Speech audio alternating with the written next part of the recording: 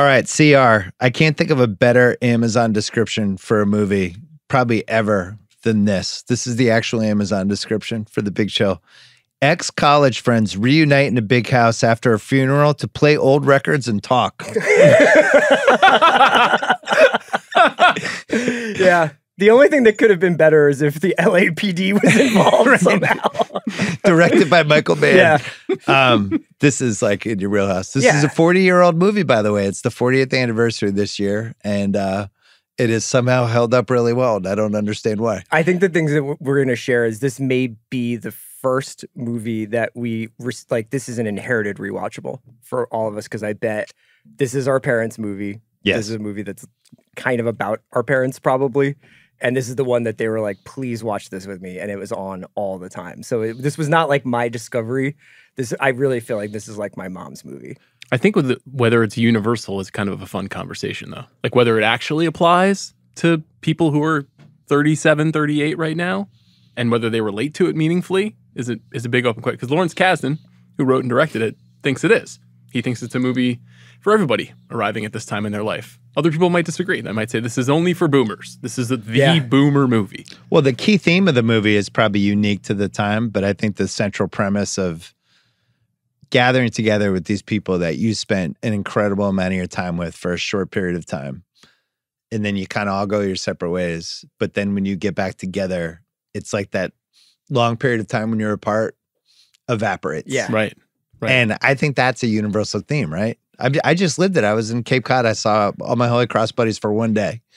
And I hadn't seen some of them in eight, nine years. And within like two seconds, It's back. we were just Yeah. busting each other's balls and making the same jokes we made when we were like 20.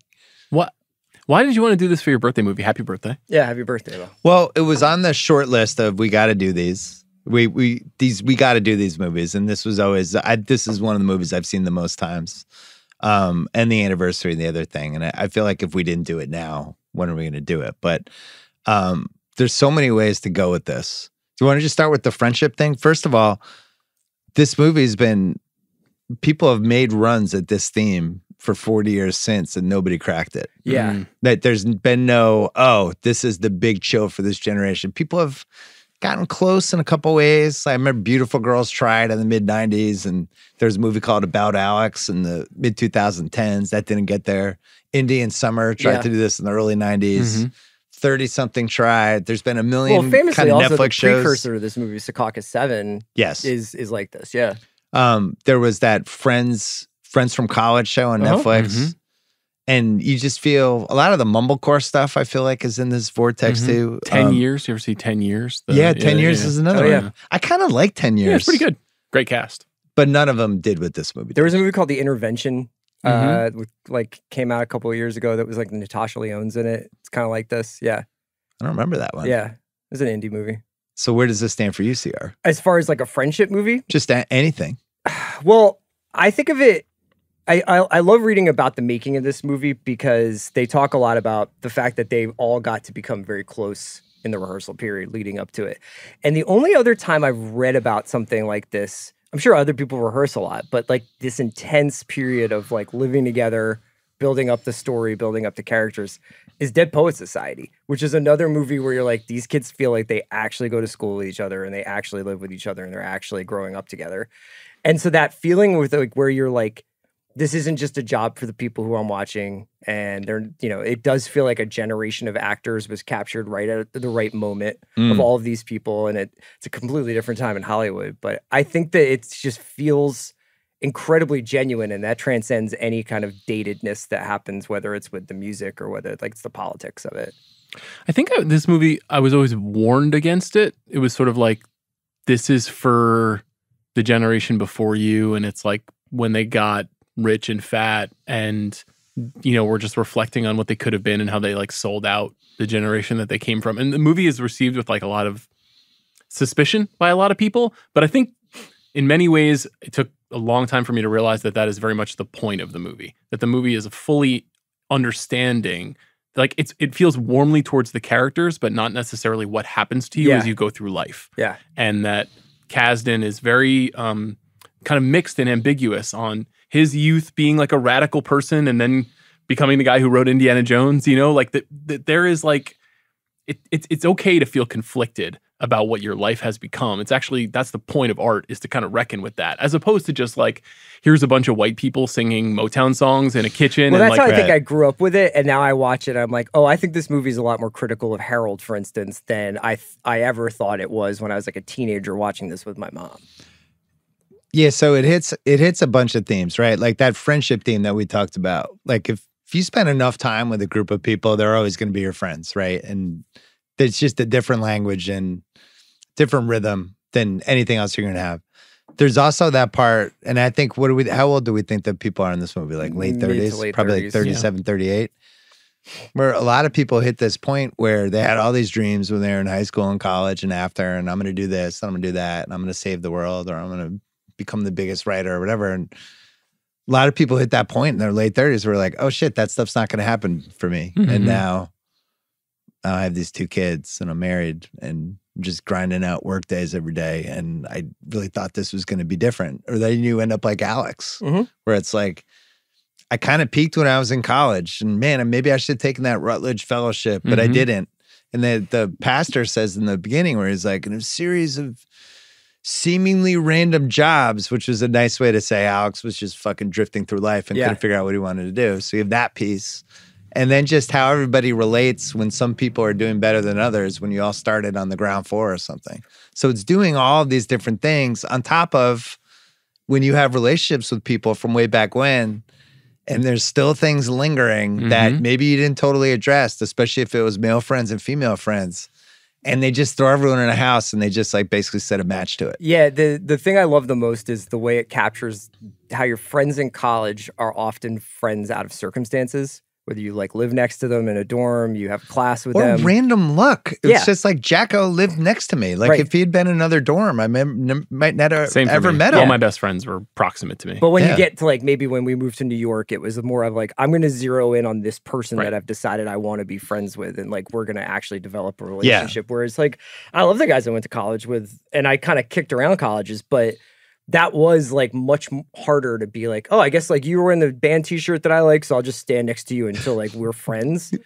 And Let's I, hold beers in a crowded place together, stand next to each other. I always love the scene in Big Chill when they're when it kind of is falling apart and Nick is like wrong we knew each other for a short period of time a long time ago and like you don't know me at all. Like that's almost Nobody had it cushier than us. Yeah. It was easy back then.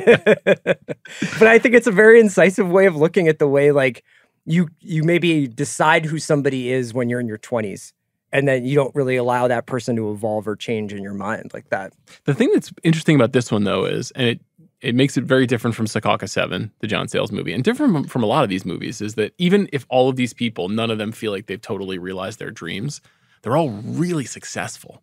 Like yeah. almost like otherworldly successful that a group of people like this, a guy who started his own sneaker company that was acquired by Nike, a huge TV star, a feature writer for People magazine, like a corporate lawyer, like these people did really well. Somebody who married well. Yeah. right, right. we- Wears really nice tennis sweaters. A guy who deals pills. Yeah.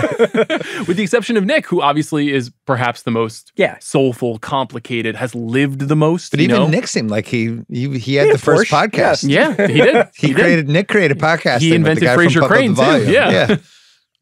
We Nick created life advice. the uh the other piece of this is and this is like really i feel like unique to people to people my age who had parents from this generation was you know there's specific um people who were in college in the late 60s early 70s who felt like they needed to change the world. It was the first time in america where people were like this place we we have to fix stuff. This is not going well here and it's going to be us the the young people.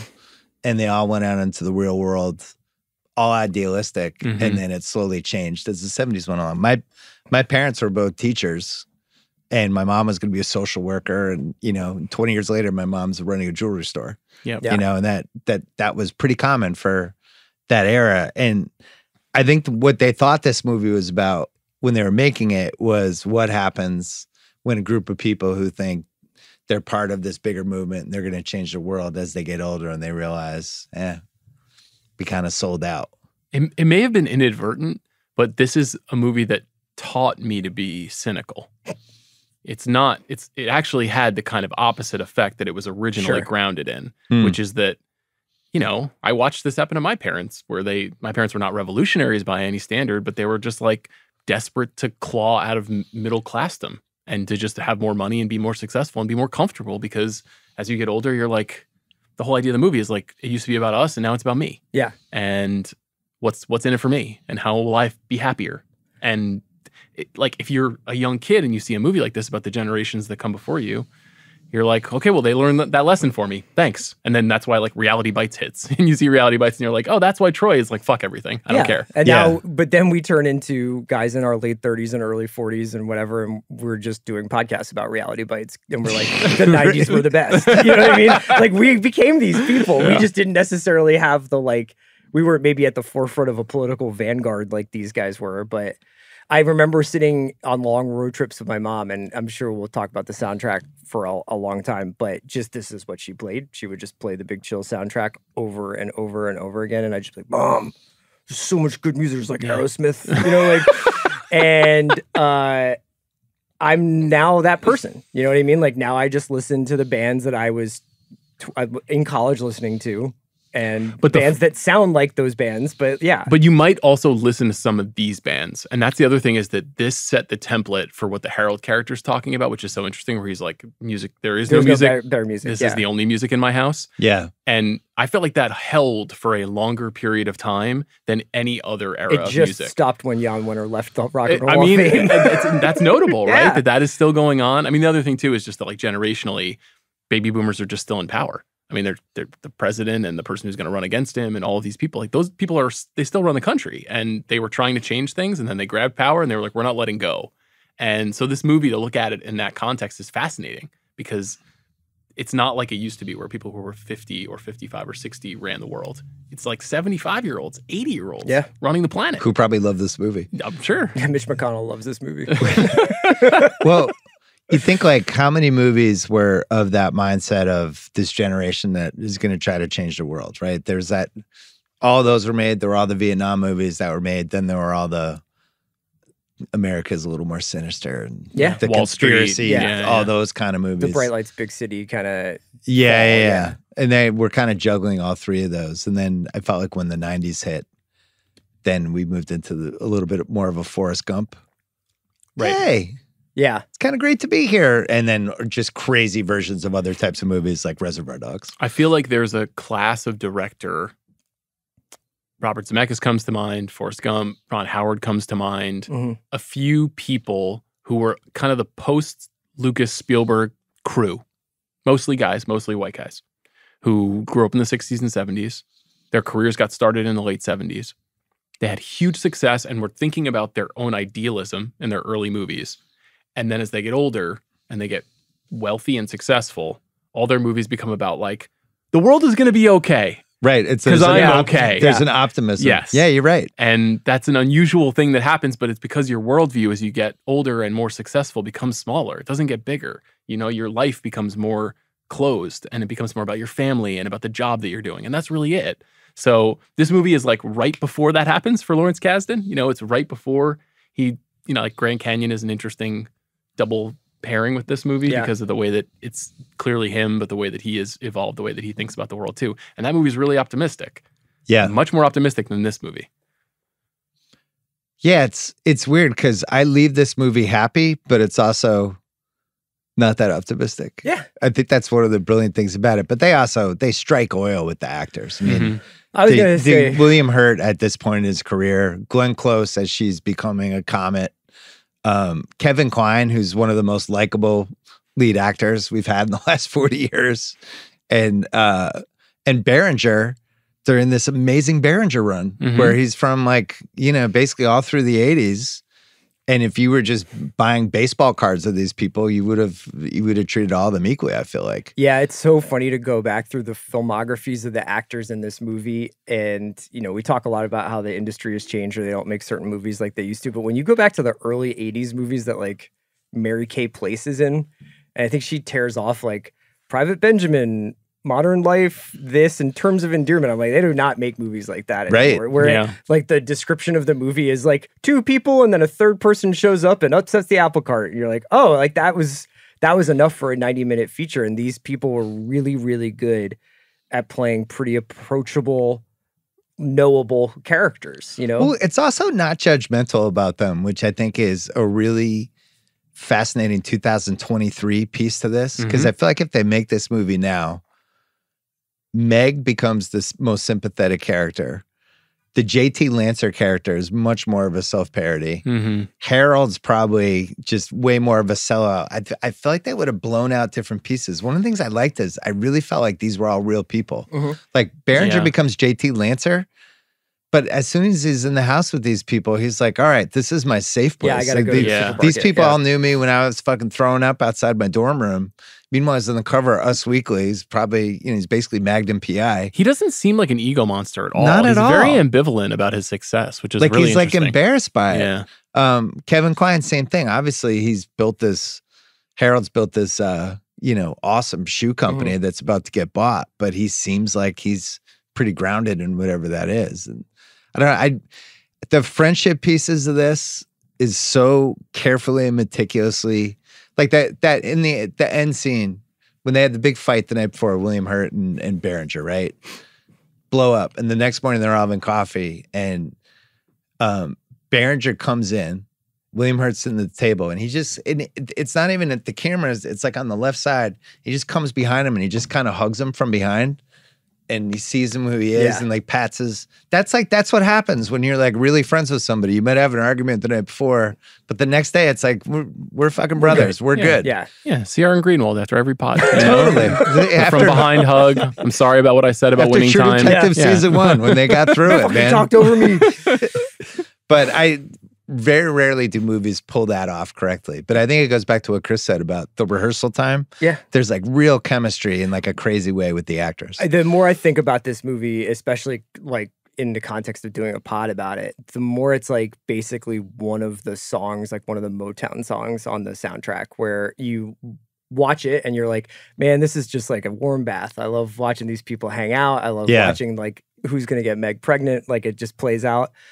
And then when you watch it over and over again, just like if you listen to one of those Motown songs over, you realize the levels of emotional complexity and also screenwriting architecture and storytelling work that goes into the 20 minute the first 20 minutes of this movie where you're just like I know everything about these people and they haven't Mhm. spoken really.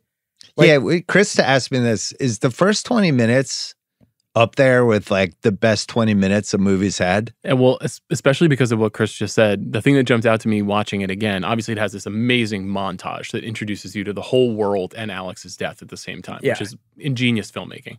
But I, whenever we do a movie for the show, I always watch the movie with closed captions because I want to know the lines. I want to follow closely like what they're trying Did somebody to say something in the background of the scene or something like that? And when you watch this movie with the closed captions, Heard It Through the Grapevine, is you see the lyrics. And that song is a perfect example of what you're talking about, which is like a really emotionally difficult and wrought song. It's a Yeah. really sad song and a really like uh, wounded song, but it, it's so catchy and, And it's so- popping on the captions, yeah. And so when you think about it in that, I mean, it's a perfect song for the movie. Now, the, the- that's a song that is like built into our like we're hardwired with that song now in our culture so we don't think about it that critically that much anymore the same thing with the movie if you've seen it a hundred times you don't think about it too much but when you're paying close attention and you see the way that you know not just that alex is being sh- like it almost seems like a woman is dressing her husband Yeah. to go out to a party but also that there's like a real melancholy throughout the whole movie that they're trying to communicate to you right off the bat And it's also what's I heard it through the grapevine. All these people are hearing about Alex dying and getting ready to go to this funeral. Like it's a purposeful choice to use that song at that moment, you know, and like just those little details that he makes sure he gets right. And never do you feel like everything, anything is like labored over. right You're like, oh my god, it's we're already at the reception, and I and, and like it's 19 minutes, and you think about like sometimes you'll be watching movies and you're just like, oh my god, it's only it's only been 21 minutes, like, Right. we're still doing this. Like this is like so fast. Grapevine's so good, you think like they peaked with this song choice, and then the fucking Rolling Stones come in, and it's used as well as Oh, you're gonna used ever use a song in a movie. Yeah. It's because she's playing with playing the organ Yeah, yeah, it's yeah. so good, and just the way they cut to each person reacting to it. Um, this is one of the. We said this during the Boogie Nights pod. This is a movie where you can make a Spotify playlist of all the songs in order of when they're in the movie, and you can kind of feel like you're watching the movie because it's like Mhm. almost like a jukebox for the movie. I I think it's one of the best crafted movies. It was so interesting interesting to see the kind of critical response to it, which we'll go into a little bit later. But people were like, "Eh, like some well done stuff here," but Yeah. and I was like, man, like and now as the years pass, as we've seen so many people try to take a run at a movie like this, how hard it is to just bring in a group of people, get all the all the stuff you need, all the nuances to bang home that these people are truly friends, give them some reason to be together, give them some sort of big picture purpose. It's like nobody's making this movie again. I don't see it. Well, Or it'll be a TV show, which will be probably even worse. Sorry, Sean. No, uh, yeah, that depresses the shit out of me. Uh, I mean, on the one hand, they picked a lot of hit songs, right? They picked, which like, how hard is it to pick hit songs? On the other hand, it's true to the experience of the characters, and I guess Meg Kasdan, Lawrence Kasdan's wife, you know, helped curate the soundtrack and worked with him on it. And they were just literally picking songs that would have been popular to these people in 1968, 1969 when they were all together Yeah. and then it plugged them back into their life however number of years later which to your point earlier is like that is what happens Yeah. you know you just like i i'm still listening to nirvana like i'm going to listen to nirvana till i die because that's just that stuff kind of becomes a part of you and so it isn't just as simple the other thing that i think is interesting about it is we didn't have spotify in 1983 Mhm. it wasn't as easy Right, to just the hear the song you wanted to hear right away you had to find like, to seek it That's out why this pay soundtrack's so it. popular. Is because Yes. you know, like that's why like our moms They did a listen to co- it all the time. Yeah, did a combo. You're right though. It is this Boogie Nights, Goodfellas, Pulp Fiction, Pulp Fiction's a good one for this. where it's like Saturday Night Fever. you you would almost describe the scene as the, The music is scene, part of the the scene. wait scene. Yeah. you make me feel like a natural woman scene rather than the Yep. scene where this happens. right Like my wife the other night was like, "Oh, tell me what let let me know when they're about to do the wait." right And I was like, "Oh, okay." And I know exactly where that happens. Yeah. And like what what happens the night before. And then it- it's yeah, it's just eh, so many perfect music cues in this. When I was with my buddies last weekend, they we had one of those whatever the little Bose speaker thingies, Mm-hmm. and uh, so I was like, I'll, I'll play me because I have all the stupid playlists. We, the only music we listened to was like eighty-seven to ninety and ninety-one to ninety-three. yeah That was it. We're all together. It's like, of course, we're just gonna listen to those songs again. Uh, You guys want to listen to Olivia Rodrigo? yeah, you guys heard Guts? it's just a bunch of bunch, bunch of guys in a house listening to Guts. What's more what's more pathetic? Seven guys who went to Holy Cross listening to Olivia Rodrigo, or me by myself in my garage listening to Olivia Rodrigo. Some people would be like seven guys who went to Holy Cross listening to Dinosaur Jr. I don't know. oh my god, but Dinosaur Jr. is still still banging it out, man. I'll tell you that. Lawrence Kasdan, Barbara Benedict were college friends. They started writing it in uh, 1980, and uh, it was a little semi-autobiographical. He Kasdan was Body Heat. He was working on that.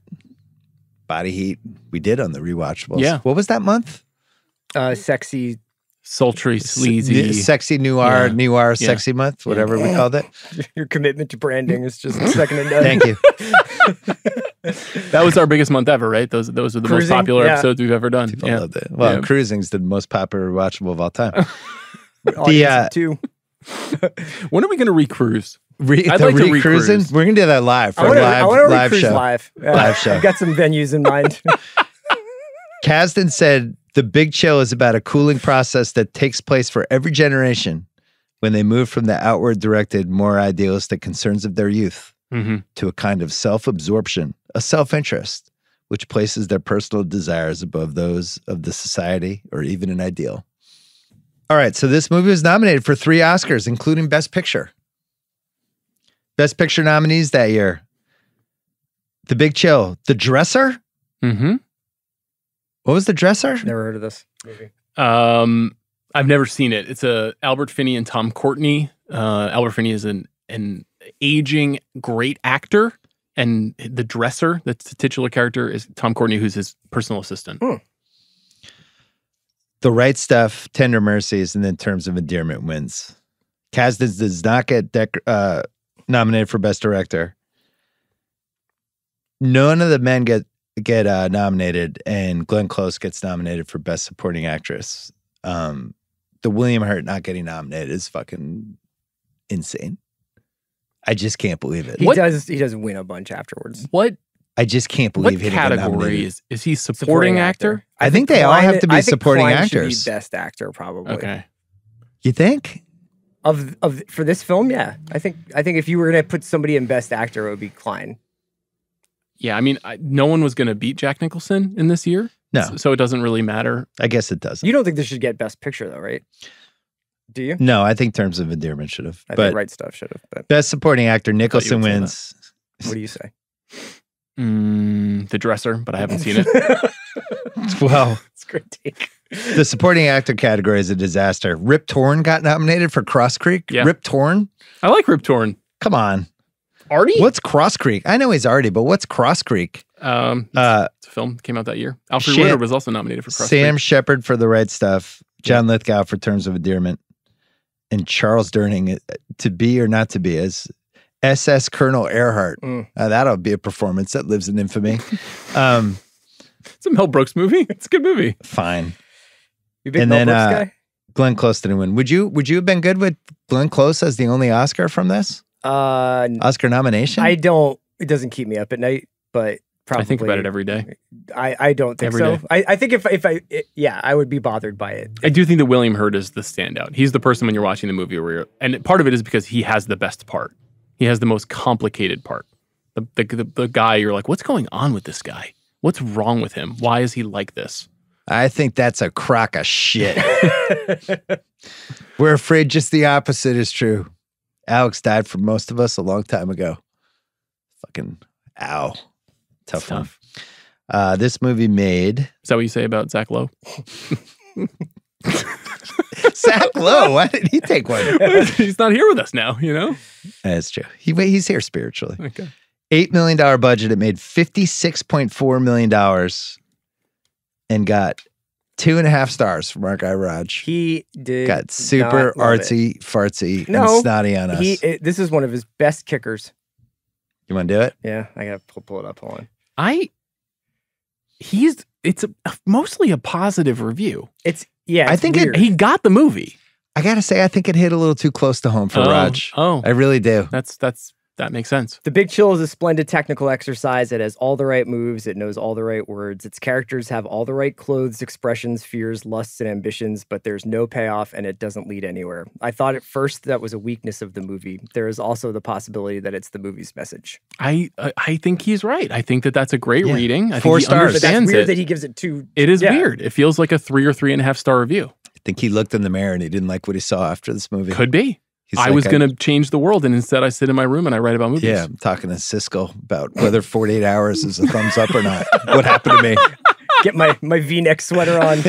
I mean, yeah. What, what happened with modern problems with do Chevy you, Chase? do you feel that way right now? about what about the emptiness of the movie? no, movie? about yourself. oh, CR's super happy. You and Siskel. CR touches You know? CR touches lives every day. yeah, that's right. You don't. You you refuse to answer that question. If See- I'm happy, That's no. That's not what I said. Like, do you feel that you have betrayed the hope I don't that you think had that for I your ever life? had a like um political agenda in my early life that I have betrayed. do you? CR and I were the same. Okay. We we would have been psyched to do what we like to do for a living and Mhm. make 50k a year. I think it would have been like There's no Sounded way great. that's true about you. What are you talking about? no, that about? was true. I really just wanted to have a sports column and get paid for it. No, and you're the I- most as- competitive person but I've that- ever But met. that eventually came as it went. That was but the- initially I was like, how do I get paid to write columns? But part of the reason that you're so good is because you want to win and you Well, won't that- let that- yourself quit without that winning. manifested itself after. I admire it. Don't get me Initially- wrong. And you too. You, I do you it play it cool, individual but you- I connections know. with people. You know? CR and I had a whole we had a whole mid nineties we didn't even know each other, but we would have been friends. But we had a whole mid nineties cigarette cigarette stage. Yeah, Just like I probably maybe it was, a late nineties for you. Troy from Reality Bites for your tastes at per- points. The in my Philly life. thing I think would have been a Philly problem. There would have been a been a Dr. J thing with And us. I don't mean Troy like looks wise. I just mean I think I was pretty like intellectually full of myself. Yeah, I'm, I'm still dealing with that. With my intellectual full of myself. No, no, no. My own, my own. What about you? Do you feel like you abandoned any kind of like? I never really had any good ideas about how to change the world, so no, I don't. I'm very, I cer- I'm, I I'm very, very excited about uh, what my life has become. Honestly, Can I got read very you lucky. Can I read you a paragraph of Pauline Kael's review?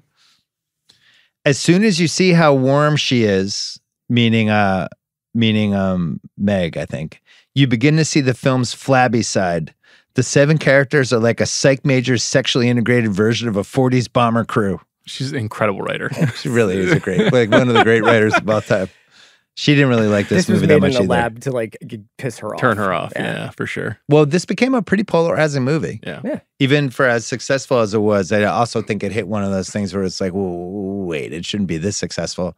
And then there's the Secaucus 7 piece, Yeah. which people are like, oh, it ripped off. Kasdan said, I never saw that movie. Um, I actually watched the first 30 minutes of it last night Mhm. Because it's on AMC Plus, Mhm. which I might be the only subscriber I of, got but they have really too. good movies. I'm in there Three way. Yeah. Plus, like, you know, Daryl Dixon starting. because that's how I get my on with him. Shutter subscription. Same. Yeah, Yeah. me as well. Yeah, I like AMC Plus.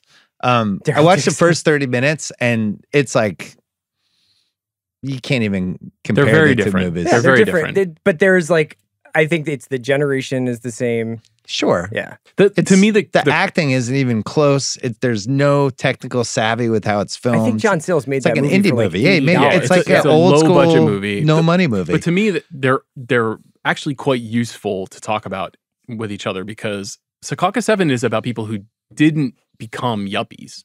You know, the, Yeah. the people who were the revolutionaries are not like cushy, sitting on their ass executives, and they're not lawyers. Like they're regular people. They're mid, lower middle class people, and that's what all, mo- almost all of John Sayles' movies are about. Lower middle class people. That's what he's interested in. And this is the opposite. This is Lawrence Kasdan after writing a Star Wars movie, thinking about what his life is now yeah, and where he came from. two Star Wars movies. right. And then trying to kind and of work Raiders of the Lost Ark his was success. involved in that one too. Yeah, yeah. and Body Heat. Solid start to Yeah. the career for An Larry. Kasdan. unbelievable first five years. Like maybe the single greatest in screenwriting history. But you know what's funny? In real life, there were more of the Secaucus 7 type people. Like my dad, who obviously was in college in the late 60s and had a bunch of friends and a bunch of people in Boston. And was your dad in the Weather Underground? I don't know about that. Uh, but knew definitely had a couple of those people who like they never kind of graduated out Yeah. of, they never unlocked the part of, oh, now I'm 40. It would be nice to It was kind of maybe have money to It spend. was not uncommon. Did you guys have anybody, maybe like friends' dads? I had, I had one friend's dad who was a pretty successful guy, but had habits from this late 60s era that he did not break. Like, first of all, just listen to the Dead and the Almonds all the Yeah. time. Mm. Smoke joints openly in front Yeah. of me as a child, like Mhm. while we would drive us back and forth from like tennis camp or something, and was like a real like I think ex hippie, like had like a little bit of like a hard bitten, you saw my dad two weeks ago. Yeah. He has the same haircut he had in but he loves the 1970. Equalizer. yeah, true. He's, Yeah. he's graduated where he's, he's grown with Denzel Washington. Yeah. I I don't know. My dad just made a big life change, obviously, when he became a police officer. So whatever he was before that, it kind of you can't live the same way. Yeah, Um, my mom, though, I don't. My mom went to Woodstock. My mom was a flower child. Like Yeah. my mom, and she was always that kind of a person in her entire life. She wasn't smoking weed in front of me, but she wasn't not smoking weed. You know, like Mhm. so. I I feel like I understand a lot of who these people are, even though they're trying to, you know, abandon some of the way that they lived when they were 19 years old. My mom's take was basically she was amorphous. She she moved with the era. Mhm. So when we went into the disco party Yeah. cocaine era, she's like, I'm in here. yeah. I'm Yeah. Kate And then it was like, Beckinsale. in Last It's Days the of Disco. 80s. We're now in the Gordon Gekko era. She's like, okay, Yeah. oh, let's roll with Yeah, this. yeah. And then the 90s, it's like America, a little happier. She's like, cool, I'm going to work in a jewelry store. And uh, she just kind of rolled with whatever was going But she on. loves this movie. it's her favorite movie. It's her favorite normal movie, I should say. What does that mean? What do you mean? Like, what is a what's a not normal movie? You mean like nine and a half weeks? Oh and yeah, Or right. Revenge. Like yeah. Adrian, Adrian Lyne movies. Yeah. And people like, yeah, Breathless with Richard Gere, Okay. Yeah. Movies where people are Unfaithful with Diane Lane, being sexy in a violent way or violent in a sexy way. or, or there's somebody's got a secret, or yeah. Okay. This is her most normal. I'm really proud of her that this is her favorite normal movie. Most rewatchable scene. We mentioned the opening credits with the bathtub and Marvin Gaye, and uh, it's in the short list of great meet every character montage. So I tried to watch it. I know I knew when I was watching it this time. I was like, okay, you remember how much you love the opening twenty minutes of this. I tried to just write down what you learn with no dialogue from this. Like you learn Alex committed suicide. You learn Sam is famous. You know Nick is stoned and probably Yeah. bad news. Like you can tell based on where they sit with each other at the Mhm. church and how they like wave. You know, with Joe. Beth Williams, just from her sweater, she's Yeah. like, "Oh, you're like a country club mom." Yeah. Yeah. And it's just like that's all like within the story. It's still moving forward. It's still going towards this funeral. But you find out about all these people and the kind of like mapping of their relationships just by like watching this opening 20 minutes that's Mm. largely without dialog or the dialogue is kind of ambient where it's like, oh, sit next to Chloe and he's like, oh, I got this. You know, Mhm. you're like, oh, Michael's piece of shit. Costner. We You're- don't know when we see this movie that Kevin Costner, we know nothing about him. I didn't know who Kevin Costner was until American Flyers, which is a movie like either the feed will just die of natural causes or there will be some last year where we're doing like American Flyers. And I'm Right. super happy Yeah. because I fucking love American don't think I've Flyers. never seen it. Bicycle Oh, movie. awesome. Yeah. Costner's seen it. incredible in it. It was like he was clearly going to be a star after American Flyers. But Maybe we um, should do cycling month on the rewatch. Yeah, breaking Second away. month would be Breaking great. When are we away, doing Breaking American Away? Flyer. There, It's too bad Easy Yeah, Rider's what's the not one- do watchable. Rad, the What's, BMX no, what's the one where Kevin Bacon is the uh, Quicksilver? Quicksilver? Quicksilver. Yeah, that's not great either. Um, Breaking Away is a must for the rewatchables, though. But- That's an amazing movie. I agree. Okay. Costner in 87 hits with No Way Out. And then by the late 80s is one of the biggest stars in the world. And then that adds to the Big Chill's legacy. It's Yeah. like he got cut out of the Big you, we Chill. should, you should explain it. Like, uh, yeah, 'cause, I don't like, think. Yeah, people may not know really like what happened. so he's the dead guy in the beginning. He's Alex. And he has this whole scene that they filmed that's the last 10 minutes of the movie where they go back in time, a little like the end of uh, Godfather, Godfather. 2. So it was supposed to be the last scene. Godfather 1 or God- Godfather Godfather, 2. 2? Yeah. Yeah. supposed to be the last scene going backwards in time with them in college and you see how important alex was to the group dynamic it doesn't work and Kasdan's like i gotta cut costner like that there's no other way to work him in the movie Puts he's him in out Silverado. feels like bad make puts him in yeah. so writes basically gives him the lead part in silverado it's like we're good this will all work out for you and then over the years as costner became the biggest star from this movie then it became a case of how do we how do we see that costner scene and Kasdan, to his credit, Always sat on it. unlike who was the director we were just talking about who's doing cut, recuts of Michael Mann. Michael Black Mann. Yeah, Michael Mann. They, I'm they- doing recuts. and Go out Kas, there. Kasdan, which I think is the better way to do it. And Kasdan's just like, look, I made that movie. That's the movie. Nobody's going to see the Costner scene because it'll screw up what you see of the movie, and that's how we're doing this. Turns this. out when you write Raiders, you can get a little cocky. You can I be like "Yeah, I'm Well, I mean, this movie hit in a way that Black Hat did not hit, unfortunately, for Black Hat. it remains point. to be seen. Uh, maybe over time, uh, Michael Mann will be proven right. But that's the thing too: is this movie was a zeitgeist movie, and then it became definitional for a generation.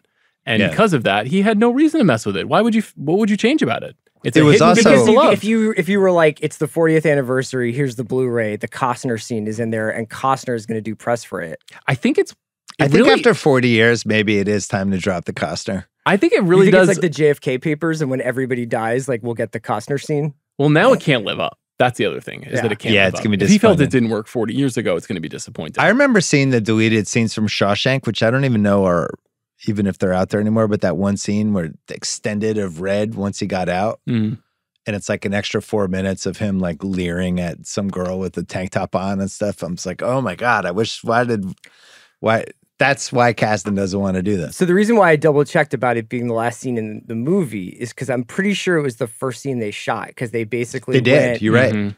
and like put together like this whole like scene, th- Thanksgiving scene, and you have to imagine getting to act with Alex, getting to act with the Alex character gave them like Probably this helped. kind of yeah, like good point. sort of orientation of like talking about this guy is more than just a figment of ma- their imagination. Like they had worked with Costner, they were like had a visualization of who he was. It's a very good call.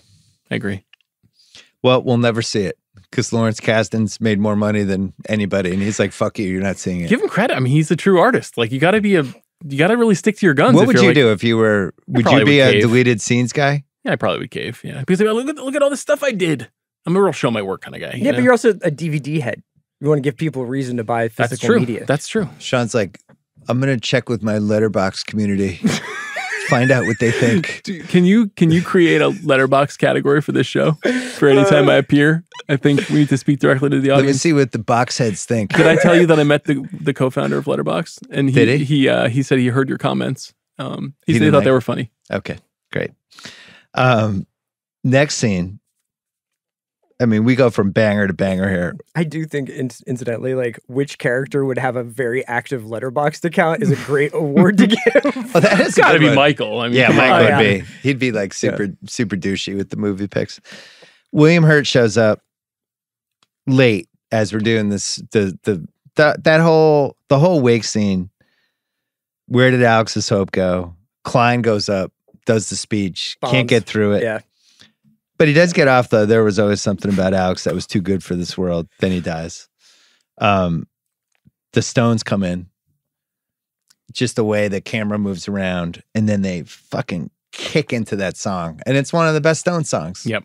And it's hard not to hear that song and think of this but movie. it's great. It's diegetic. It's like Karen starts playing it on organ, so you're like, okay, Great and stuff. then it just kicks in. And there's a lot of like funny little stuff, like like uh, Chloe. JoBeth Williams is introducing her husband to William. He's like, "Can I go over here?" She's Yeah. trying to get away from yeah, him. Richard's getting dunked on. Yeah. uh, Meg gets stoned, she's out of her mind. We get the what was the argument about? I told him he was wasting his life. Um, all that stuff. So Chloe saying, "I wish I could have r- ridden up there." yeah, in the front. yeah. Um, first twenty minutes unassailable. Next uh, rewatchable scene: the Richard's big kitchen scene. I'm glad you pointed this out. Richard's on a fucking heater in there making a sandwich at three in the morning, just dropping dimes. a- a really weirdly resonant scene from these two guys who are like lapsed revolutionaries and this Yeah. one other guy who's like a real kind of down the middle square conservative guy but who's kind of being honest Yeah, I You know- just also like I didn't really think about this before, but like, can you imagine if uh if like you were eating a sandwich in the middle of the night and I walked in like high out of my mind and my boy had his shirt open and we were just like, We're hungry. What's up, Rich? but he is fearless in being like here are the decisions i made in Yeah. life it's not exactly what i thought it was going to be i have some regrets but nobody said i was supposed to be happy Yeah. like And he- nobody gives he a says- shit about to me. complete Yeah. strangers Yeah. he's saying that he says uh he says you set your priorities. That's the way life is. I wonder if your friend alex knew that. One thing's for sure he couldn't live with it. I know i shouldn't talk. You guys knew him. But the thing is nobody said it was going to be fun. At least nobody said it to me. You get And the feeling like, like, he wants "I'll to see say you guys that. later." he wants to say that to Karen. yeah because she's Yeah, been building these people up to him and he's like so these are the fucking jokers that you've been talking about like the greatest time of your life was with them and like they all look like losers or that no, nobody wants to have a conversation with me. Yeah. Well he watched her zoning out during jt lancer episodes and Yeah. he knew something something bad was going on. Does like, he though? Does he get it? Does he even really understand what's going on there? Yeah because i think He- he, they pulls hinted out, at he's the like, yeah you're staying the weekend. Yeah. And he's like fine cheat on me? Like no kn- but i think he's mad but he's like what am i supposed to do? Like make you come home with me when like all your what would you are- do? If my wife was like i want to stay here with tom berenger Yeah. Um, there's a lot of what would I do in this movie that I would Yeah. love to unpack. yeah yeah we'll get it like that's coming up The uh, I just wrote down the next rewatchable scene as JT Lancer screening, dinner scene, cleanup, pot smoking. yeah Really good stretch. I like when they are making fun of him about JT Lancer because that's like the most authentic what a friend group would do in this situation. You're Yeah. just gonna like yeah, bust just a doing like person's mystery balls. science theater to like the opening credits of that. It's great. It's also like you must have had real fun making the JT Lancer credits. oh god it's perfect it feels like it's a real show The two chicks in the bed. He's just like, yeah. and that is like what fucking TV used to be. It know? really was. Oh, this guy's This gonna have is a menage three. It's Wednesday night. Coming up on ABC. uh, I like when Glenn Close does the he should be here. I feel like we should have had a chair for Alex. I feel like I was at the best when I was with you people. Bugs kill. Great stuff. Um, Is this the first extended Glenn Close opportunity you've had on the on on the He did rewatchables? Fatal Attraction, right? Fatal Attraction. Okay, Garp's gonna happen at some point. I was thinking about Garb Garp was because that's what she did right before this, right? I'm always worried with some of these that I like the movie more than maybe it's worthy to be on the feed. But This then we do something like Black Hat, and I'm like, you know what? Maybe we can It do Garp. resets the bar. you know what? Black Hat happened.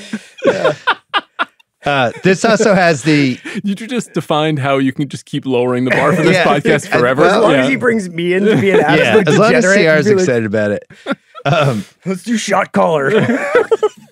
I like when it's getting when do you want to do that? It's really up to you. October? I, I do think we need to do prison December or something like that. Prison December. Yeah. Could we do lockup with Sly Stallone? Of course. That sounds great. I like when it gets super poignant and Nick says, I know what Alex would say, what's for dessert? And nobody laughs, but Chloe thinks it's like the funniest thing ever. Yeah. It's just really good. Uh, good music in this too. Leading to CR's favorite scene when uh, Nick gets Glenn Close's character coked up. Yeah.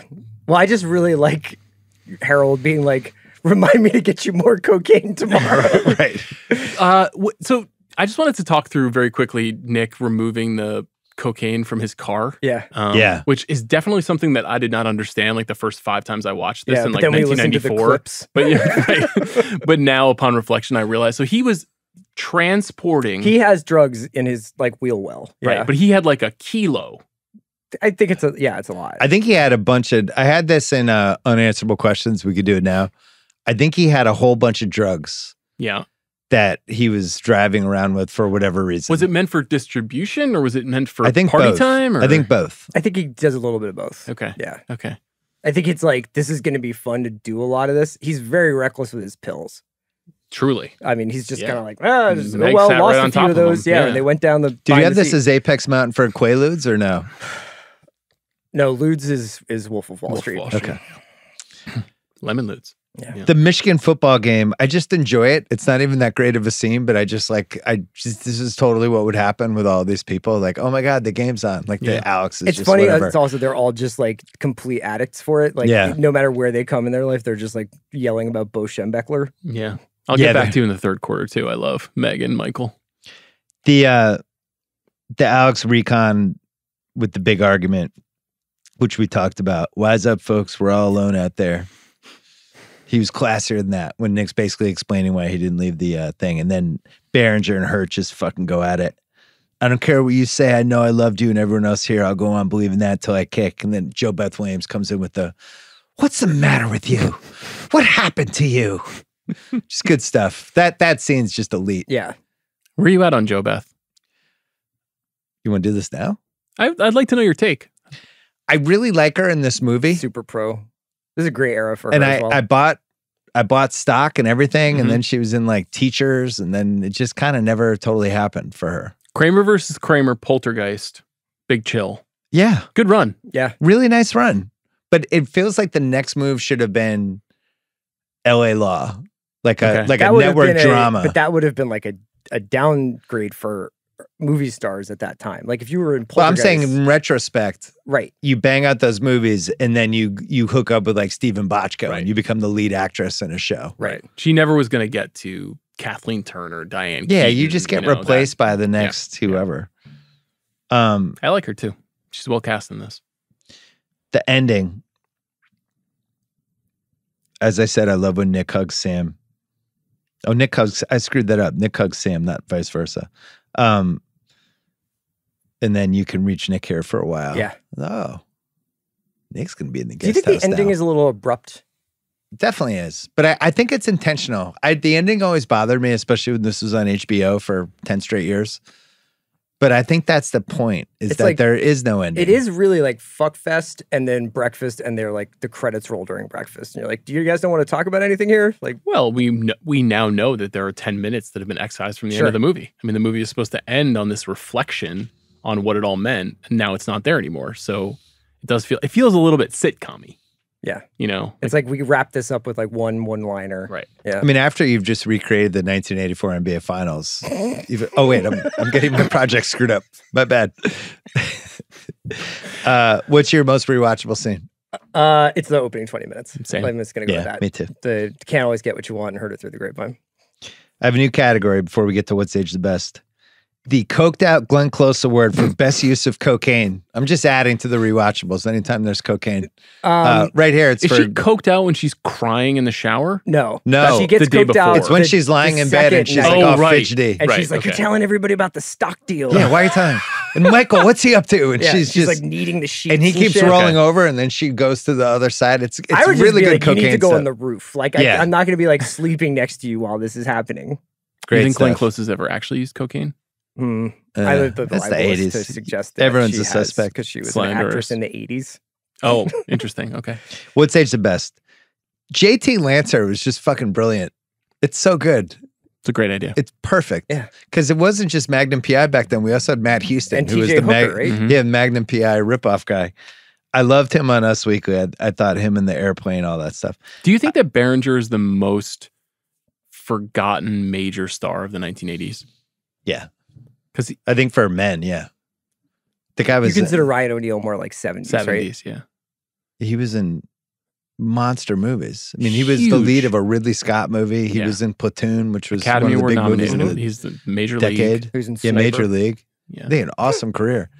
Then he moved into a really nice five o'clocker stage. Yeah, Sniper. Just making a bunch of action movies. What was he in the substitute?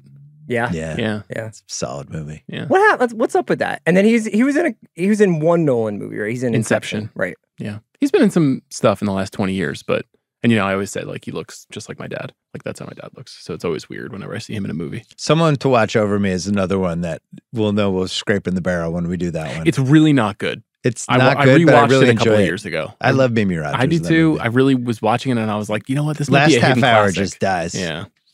It's got the our guy from The Fugitive though, the one armed man. Oh yeah, He's the he's the bad guy. typecast. I like the Michael, the People magazine, all the People magazine jokes. Yeah. The it's how you gotta finish finish the article during a crap. That's our rule. And just like the 19 drive-bys on People magazine are really funny. Did that inspire any of the sports guy column thinking? You know, like I mm, gotta, how- what, what length should this be?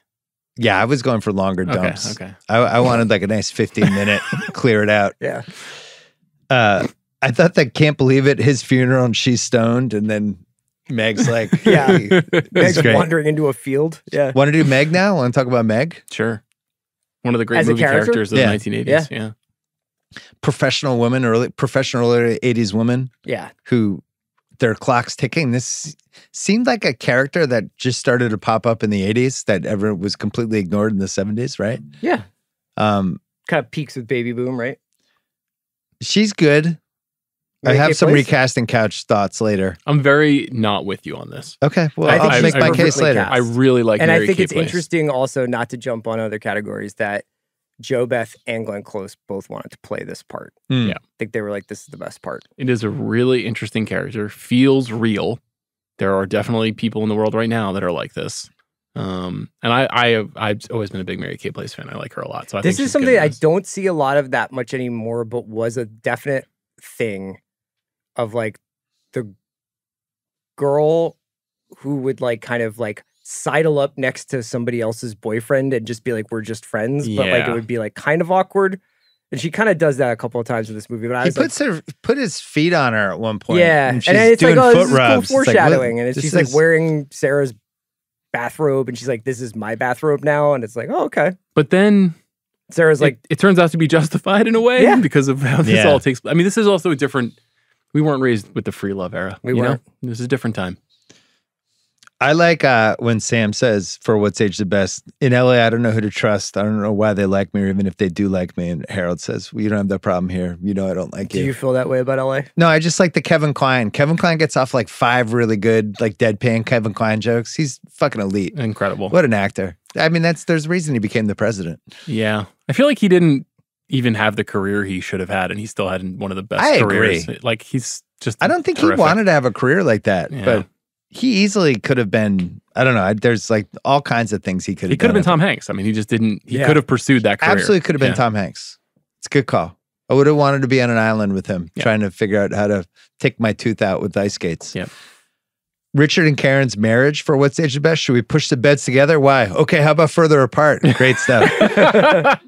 uh, Sarah talking to her kids when she's uh, using the mom voice, Glenn Close. And then she's like, sometimes I don't believe what I hear myself saying. Yeah, because I'm That always mother. resonated me once I had kids. You're like, I've become this different person when I talk to my kids. Man, You're probably doing it now. I'm going through Okay, young lady. Yeah. you'll go to bed at nine o'clock or that's it. don't make me repeat myself is one that I'm starting Yeah. to use, which is tough. It's tough. What's age the best? Nick's Porsche, Oh 1972, Incredible 911 Targa. Yeah. Yeah. What's up with the paint job on Also, that car? he It's like, like matte. it's uh, well, or just rust. Yeah. And then he basically, I love how he parks at the funeral where he essentially just like kills the engine and then turns on the parking brake, but parks diagonally. Yeah. you're like, it's almost like that car could not have made it another 10 feet. Crazy car. I just I I don't think that car would be drivable now. You'd really have to like you'd have to spend months restoring it. That was like the end of an era where you drive that car now, the whole thing's shaking. I like two quotes. Amazing tradition. They throw a great party for you on the one day they know you can't come. And then I haven't met that many happy people in my life. How do they act? Yeah. Meg Tully says that. I always thought that was a good one. Um, what else do you have? Any any would age the best CR other than the soundtrack? Uh, yeah, a couple. One is the arc of a friend's getaway weekend is perfectly broken down in this movie, where it goes from awkward, like ah, we're we're all here, we all drove over here, we made it, to awesome, and that's the night that you're like, let's move here, let's all move here together.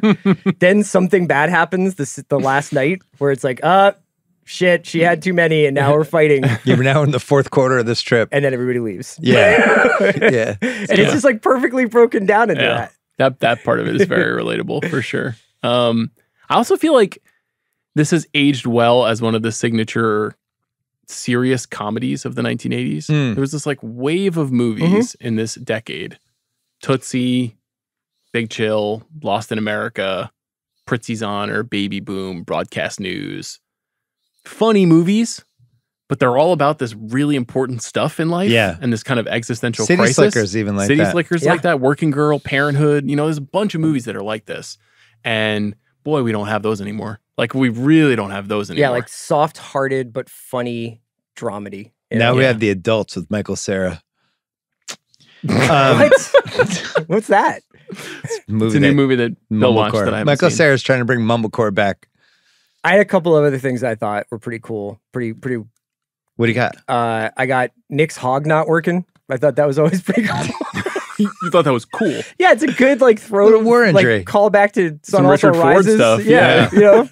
Uh, but they don't make a big deal about Vietnam. It's just like Yeah. Nick got his nuts blown off over there. If you don't pay attention, you kind of miss it. yeah. Yeah. Um, and also just the Nick character being Alex's ghost, and like basically being like the things that Alex kind of believed in, and Chloe obviously recognizing that and being like, "You're just like him." And I, I really like this idea that he's sort of moving through the house, and while they're all talking about Alex, he's like, "You didn't fucking know Alex," you know. They do a good job of not playing the Alex card too much, and anytime it's played, it's perfect. Uh, one more would stage the best for me is they use the Great Santini House. Mm. Oh yeah, That's that's one of those Tom like Berenger liked it so much he got married there.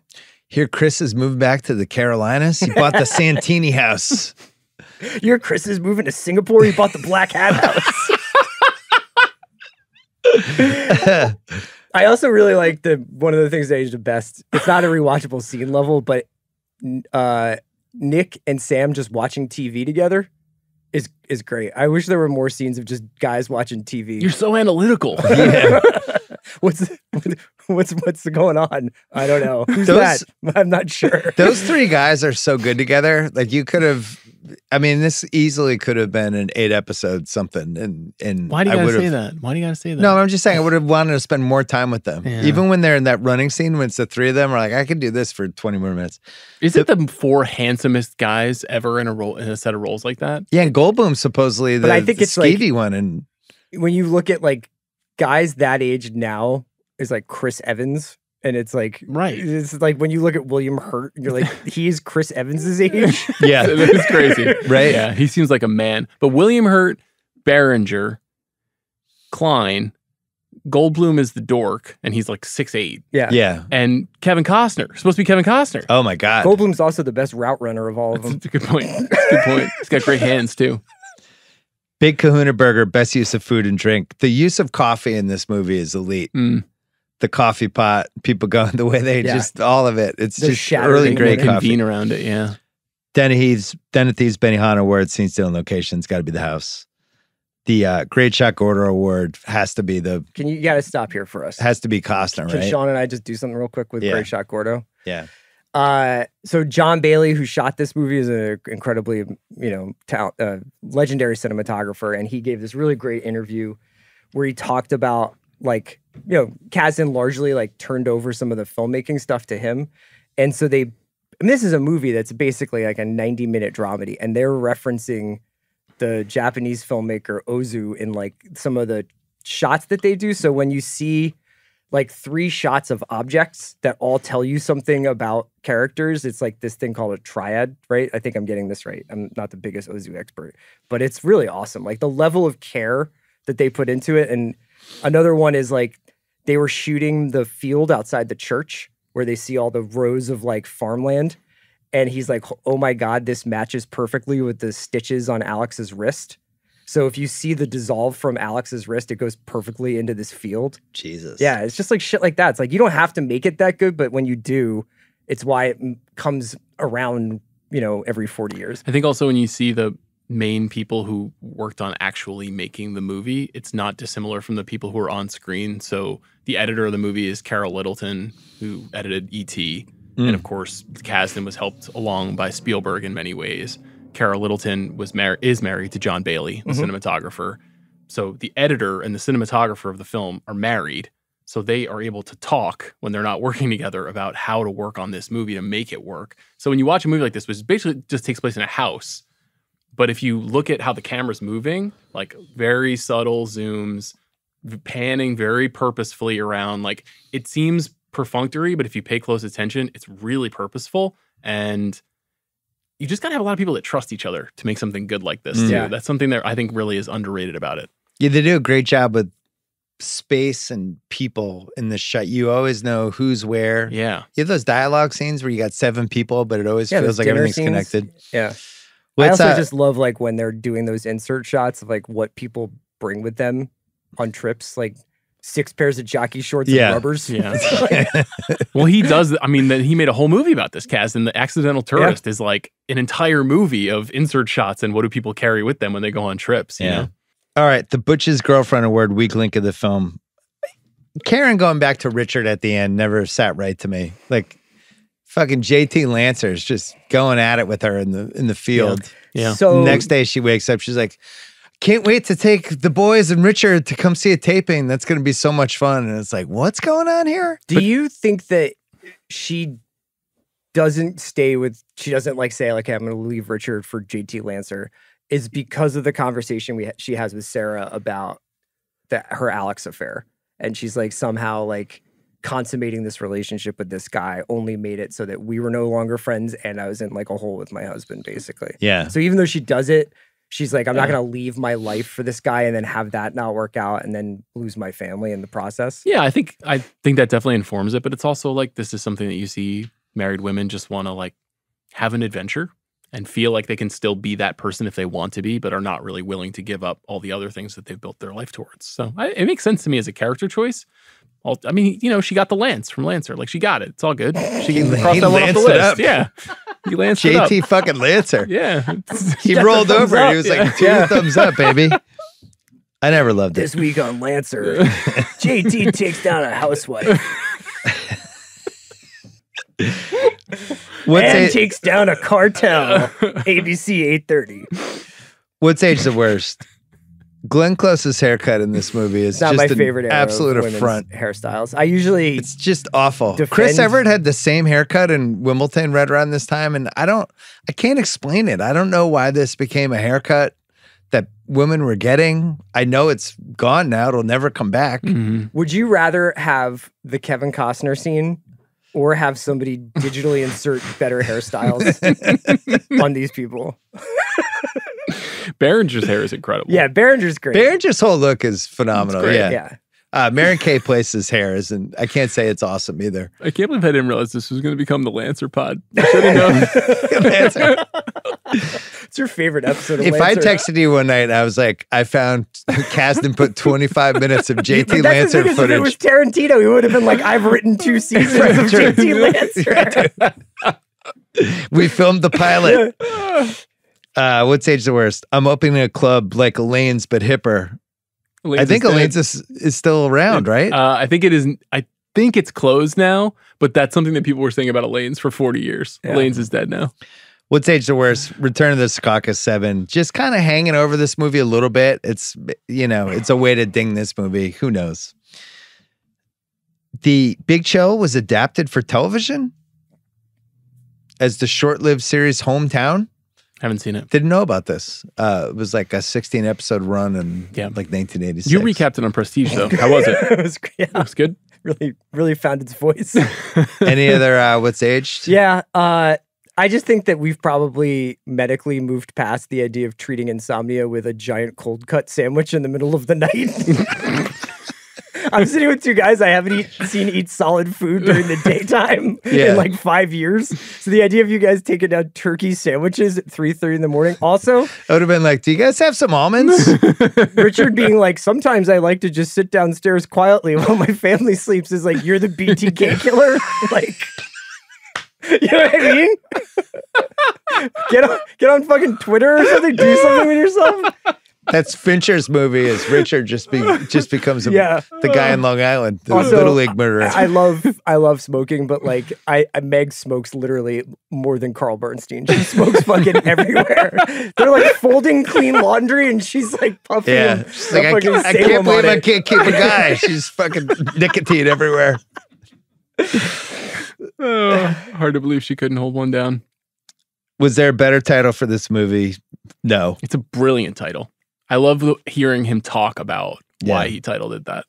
He said the experience of cold adult reality after leaving the warm embrace of true friendship during college. You're fucking. This is why you're rich, Lawrence. So cool. He's so smart. The Kid Cudi Pursuit of Happiness Award for Best Needle Drop goes to the Rolling Stones song, but there's also five other songs. I get, I, That I, could I'm go. gonna go with the weight. yeah, I had that as a runner up. Bad Moon Rising's good too. I like. Bad Moon Rising is good. Well, I mean, I feel like Ain't Too Proud to Beg and doing the dishes and cleaning up is the most It's the memorable one. one. right? I just That's really the- like when like Meg's It's got to be the Stones. though. shattered and she's sitting at the dining room table smoking and like the shoe boxes are there and Mhm. the weight's playing. Yeah, Yeah, like, I and like that you one the too. next cut and like some boxes are gone Yeah. and some are in different spots. that's yeah. such a great song. and Karen's too. nagging her about whether she bangs Sam. Right, right. Well, you make me feel like a natural woman is a pretty big one too. Uh, Yeah. Are we ready to talk about that? Not yet. Okay. The Weight is one of those. A lot of the '60s songs, early '70s songs, haven't aged that great, Mm-hmm. or they just feel kind of confined to that. That song, I feel like, is still Yeah, it's really all-timer. banging. What's the song that hasn't aged that great? Like I shot the sheriff. Yeah, that's Oh. that's a that's a weird Yeah, one. That was your anthem. I know right? there's some. The Stones catalog has some ones that I always felt like in the '80s, like that song's amazing, and now I listen. Yeah. Like what? like brown sugar. Satisfaction? No, brown sugar. That's one Oh. that's like, eh, yeah. Also one of your faves though. just only for the lyrical content. Here's where we can do the sex scene. The Mallory Rubin Award. Did this movie need a better sex scene? I think I'm good with Kevin Kline just gently rocking in the missionary position on his wife's best friend. I don't know if I needed. I don't know. I needed I the think cum I- shot I think at the end there. oh! okay, gun to your head.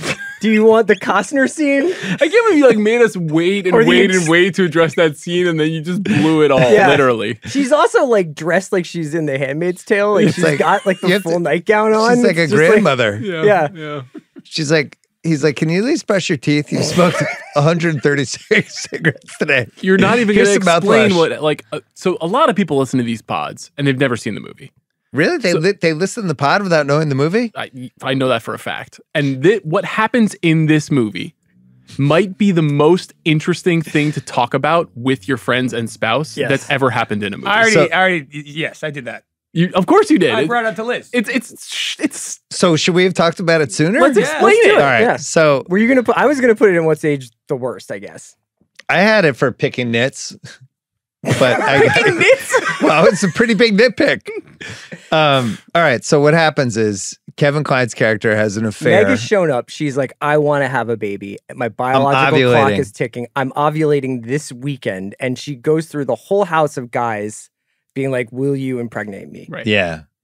She starts with Nick. His His his his his stuff don't work. Then she goes to Sam. He declines. JT Lancer's like, only if it could be a threesome.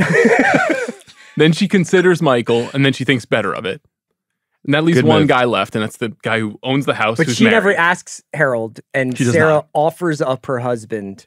but she offers him up because she had an affair with Alex. That, you just, yeah, that was my Stephen A. Smith. It's just that that whole thing is just like her guilt. Oh, for sure. Yeah. I don't even think that's a hot take. I What's think a that's Stephen A. Smith? The hot take? What's your hot take on it?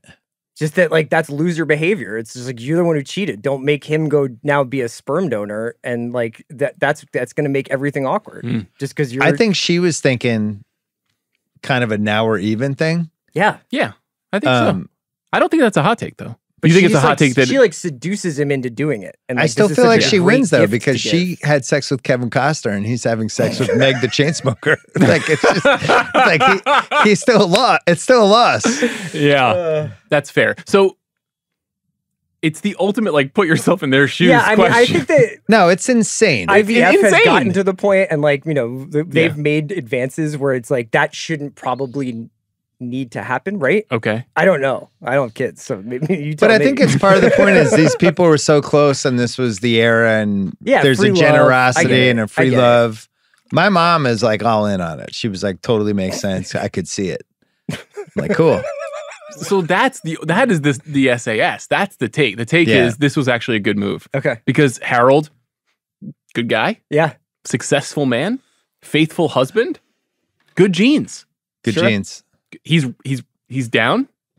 Yeah. He's he's down to participate. he's wearing like full pajamas before it happens. Like I think he's a little nervous. Do you think he didn't He's enjoy like, it? this bed's always been lucky for Sarah and I. that's weird? That was and she- weird. and she's wearing her mom's grandma bathrobe, mom's grandmother's bathrobe. I do. I think Kevin Kline is elite, but what do we think about his South Carolina accent? it goes. I had that in Leghorn Picking on me Nits. couple of times. Ah, say, I say, Yeah. has been a good It's- for me it comes and goes. It's not. It's not Little awesome. weird. Little weird. Not awesome. Um, It's one of the greatest scenes in movie history because it's so weird. When it's So- happening, you're like, what? Like when she uh, goes in the room wearing the robe. The first time I saw it, I was like, there. What is it? I, I couldn't wrap my And head then around he's it. just like, this is the cradle of life here. This little twin bed that we've got. this is this is the fucking the most fertile ground in South Carolina. Saturday Night Live. I tried to find it. They did a great sketch when Oh, they yeah. had. uh I think Kevin Kline. Either Kevin Kline was the host or Glenn Cl- Glenn Close was the host. Where they do this and they're just going at it in the bedroom and it's just going on and on, the room shaking. and Glenn Close's character is getting madder and madder that it's going nuts. And finally, she turns into Fatal Attraction. Right. oh, that's, that's Yeah. really that's It's a good, good five minute sketch. Um, Glenn Close's faces in this movie, as her husband is railing her best friend in her bathrobe, when she's like, "That's right, we did it." Yeah. yeah. and she's just like, and then afterwards, the next day, she goes and sees her in the in the bedroom, and Mary Kay Place is rolling over with this. I was ovulating, and and Glenn Close is just smiling What? with this creepy, crazy smile. Okay, is it better or is it better if it worked and she got pregnant, or is it better if it didn't work in in Sarah's mind? Because what you ideally, if you're her, what you want. Yeah, because she's pretty skeptical. She's like, well, it doesn't always take the first time. Right. Yeah. But so if it doesn't work, then you don't have to deal with your husband having a baby out there with your best friend. Yeah. Which was the, Lancer's whole problem. He's like, I don't want a, a bunch of little JTs running around. Right. Right. But I think the first time they get into a fight, Glenn Close and Oh, Kevin it Kline. comes up immediately. Why'd you go fuck your whore? yeah. and then that's it. I'll give her the bathroom again, you fucking asshole. were you quoting Connie from The Godfather there? I did. I kind of did do a little Connie Corleone. Puff uncool you. Um, it's a batshit crazy scene. My hottest take was, um, Sean, you're gonna hate this. Oh no. Why not a sequel instead of doing Grand Canyon? Let's bring them back for the 25th There's so there's so much meat on the bone. I'm not a sequel guy normally, but I think this was so sequely. I think what happens is Meg's son comes for his piece of running dog shoes. of, ru- of running dog. And it's like Pacific Heights. He's like, I'm living, you know, oh, so you're saying that he's grown up now? yeah. Oh, and Oh, I like the this. sperm donation from hell, you know? And he comes back and he's like, Oh, this is good. I'm it's like that John down. Travolta Vince Vaughn movie." and Vaughn by movie. this point, Kevin Kline can be like in his 60s and be like, Oh, dude, declare that faithful night that I'm impregnated, Meg. Yeah, his accent's It's a strong it's- sermon Yeah. through and through. Yeah. That's really good. I would I would have been fine with a 25th college reunion at at Michigan. Yeah. Would have been great too. I like I instead of Grand Canyon, I would have rather It would have the been nice sequel. to get their takes on the Harbaugh, Harbaugh years, you know? Right. Or even I, I would have. Gl- or Glen Rice, how, much close they came. The, the fucking Fab Five. yeah, Fab Five. Oh my god. Some Jalen Rose. Oh hot yeah, they would have had Fab Five, and they would have had uh, Grandmama and Larry Johnson. You know, and the Hornets. You know, they would have had a lot, a lot to look back on that they would have enjoyed. Harold's bastard kid is wearing the long baggy Jalen Rose That's shorts. right. He You'll sends get him me, as a Dad. Christmas. Juwan Howard understands me. I'm gonna go listen to Biggie. Meg's dead of lung cancer at 42. this orphan child. but Uh, Harold won't take care of him. Cass, you didn't have a hottest take, did you? I already burned it, which is that the first five years of Kasdan's career is the greatest screenwriting run in movie history. Um, uh, it's Empire Strikes Back. Yeah. Raiders of the Lost Ark, Body Heat. He sells Continental Divide Wow. to Steven Spielberg, which becomes not a very good movie, but Yeah. apparently was a good script. Return of the Jedi and The Big Chill. That's a four-year period, Damn. and he wrote writes so it's John. Hughes versus him in the finals, and Kasdan wins. Just from a pure screenwriting Yeah. perspective, I mean, Those he wrote like- Indiana. He wrote Raiders of the Lost Ark. A better hot take would have been Did Lawrence Kasdan create pop culture? It, um, it kind of feels that way, doesn't it? You know, Coming up next, casting what ifs. Kasdan wrote the role of Nick for William Hurt because they were working a movie, and that was the only one he wrote the part for. Everyone else was kind of up in the air. Um, as you mentioned, JoBeth Williams going close one to play Meg. I thought this was interesting. Kevin Kline met Phoebe Cates because she auditioned for Chloe, and then it went to Meg Tilly, but they ended up hitting it off, and that was that. The Phoebe Cates Meg Tilly thing kind of Yeah. got my head spinning a little. hmm Phoebe Cates, like almost probably too iconic in Meg Tilly has like an otherworldliness though in this movie that I think really works. I think she works Chloe. better. We I didn't think really talk Phoebe about- Cates is like too famous almost. Kasdan says ethereal is what he liked about her. Yeah, she had she- an ethereal quality. Uh, yeah, Phoebe Cates is um at that time too, just like classically hot. Yeah. You know? It doesn't work. Did was it Meg Tilly or Jennifer Tilly who became the poker player?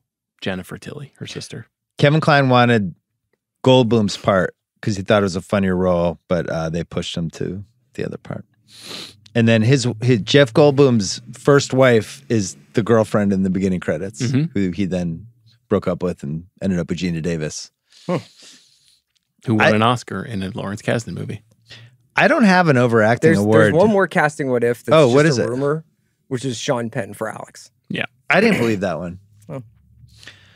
Um, He would have been a little young at yeah, I that thought he was too young. Fact checked. Sorry. No, that's why I didn't list it because he was like 25. Like, I just thought Yeah, he was too young. but it- definitely younger than Costner, right? Yeah. Overacting award. No, nobody in the movie except for the the preacher pastor. Where did Alex's hope go? He's really gunning for yeah. it. But He's like, I that- didn't know this guy, but I have to talk for five minutes. best that guy award. Richard yeah, Don Galloway. Don Galloway. Did you ever used to watch Ironside, the show he was on? Of course. And apparently he was like a big libertarian, which Hmm. makes it kind of funny that he's in this movie as this guy to imagine like Yeah. what his like political kind of Did you host him on your libertarian pod? yeah, Did he talk about his experiences Hands off. in the party? a Yeah. podcast Yeah. with Chris Ryan. Hands off. Over my dead body, Yeah. hosted by CR. Dion Waiters, the preacher, probably. No, it's Costner, man. Yeah, come on. We don't, they don't even see his face. I know, but look, we spent 20 minutes talking Do about we him. know that tho- are those definitely his wrists in the in, in the inserts? That's a great question. Hmm. We don't know. So you don't think that he qualifies because he's not actually in the movie? I think it's probably the preacher. What I about the- like the, Costner. It's an interesting call. What about the cop? Oh, the cop. Oh yeah. Recasting couch. Just walk this through with me as a thought exercise. The cop is Mary Kay Place's brother, by the way, in real life. We put Glenn Close, we give her the Mary Kay Place part. Okay. Meryl Streep's in the Glenn Close part. Mm-hmm. I feel like Glenn Close and Meryl Streep can't be in a movie together, or the world will explode. That's what I like about it. it's just one of those things. like sending emails. No, I'm not. I was just adjusting something. Oh. He's doing some script writing. He's Jesus. preparing for his big moment. Meryl Streep in the Glenn Close part, and Glenn Close playing Mary Kay Place's part. I actually think that's a wonderful idea, and I'm not just saying that because you caught me typing. I think Meryl Streep in this movie as Harold's wife. I think it's a better movie. And you just want Mary Kay Place to die in a ditch? Like what? what no, the I think? Glenn Close would have been an amazing Meg. I think she's a better actress than Mary Kay Place. I love Mary Kay Place, but Glenn Close is a better actress. I'm just trying to load. What was the, Meryl Streep in at this point? Like how She's famous at this point. She's famous? Yeah, she's Kramer she's versus in Kramer the Sophie's sure. chat. Like she's done Sophie's Deer Hunter. choice. Yeah. Yeah. Sophie's Choice. That's yeah. pretty cool. It's a good All idea. Half-assed under research. So the Santini house that Chris is going to buy, it's in Beaufort, Beaufort. South Carolina. Kasdan loved the San- Great Santini so much he decided I'm just running back the house. Mhm. This is one of my favorite half-assed under research in a while.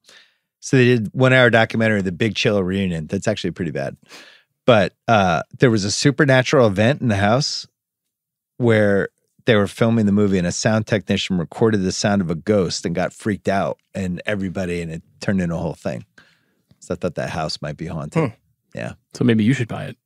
Just given you, Sounds given great. your I'm, interest. I'm already dealing with ghosts. How's that going?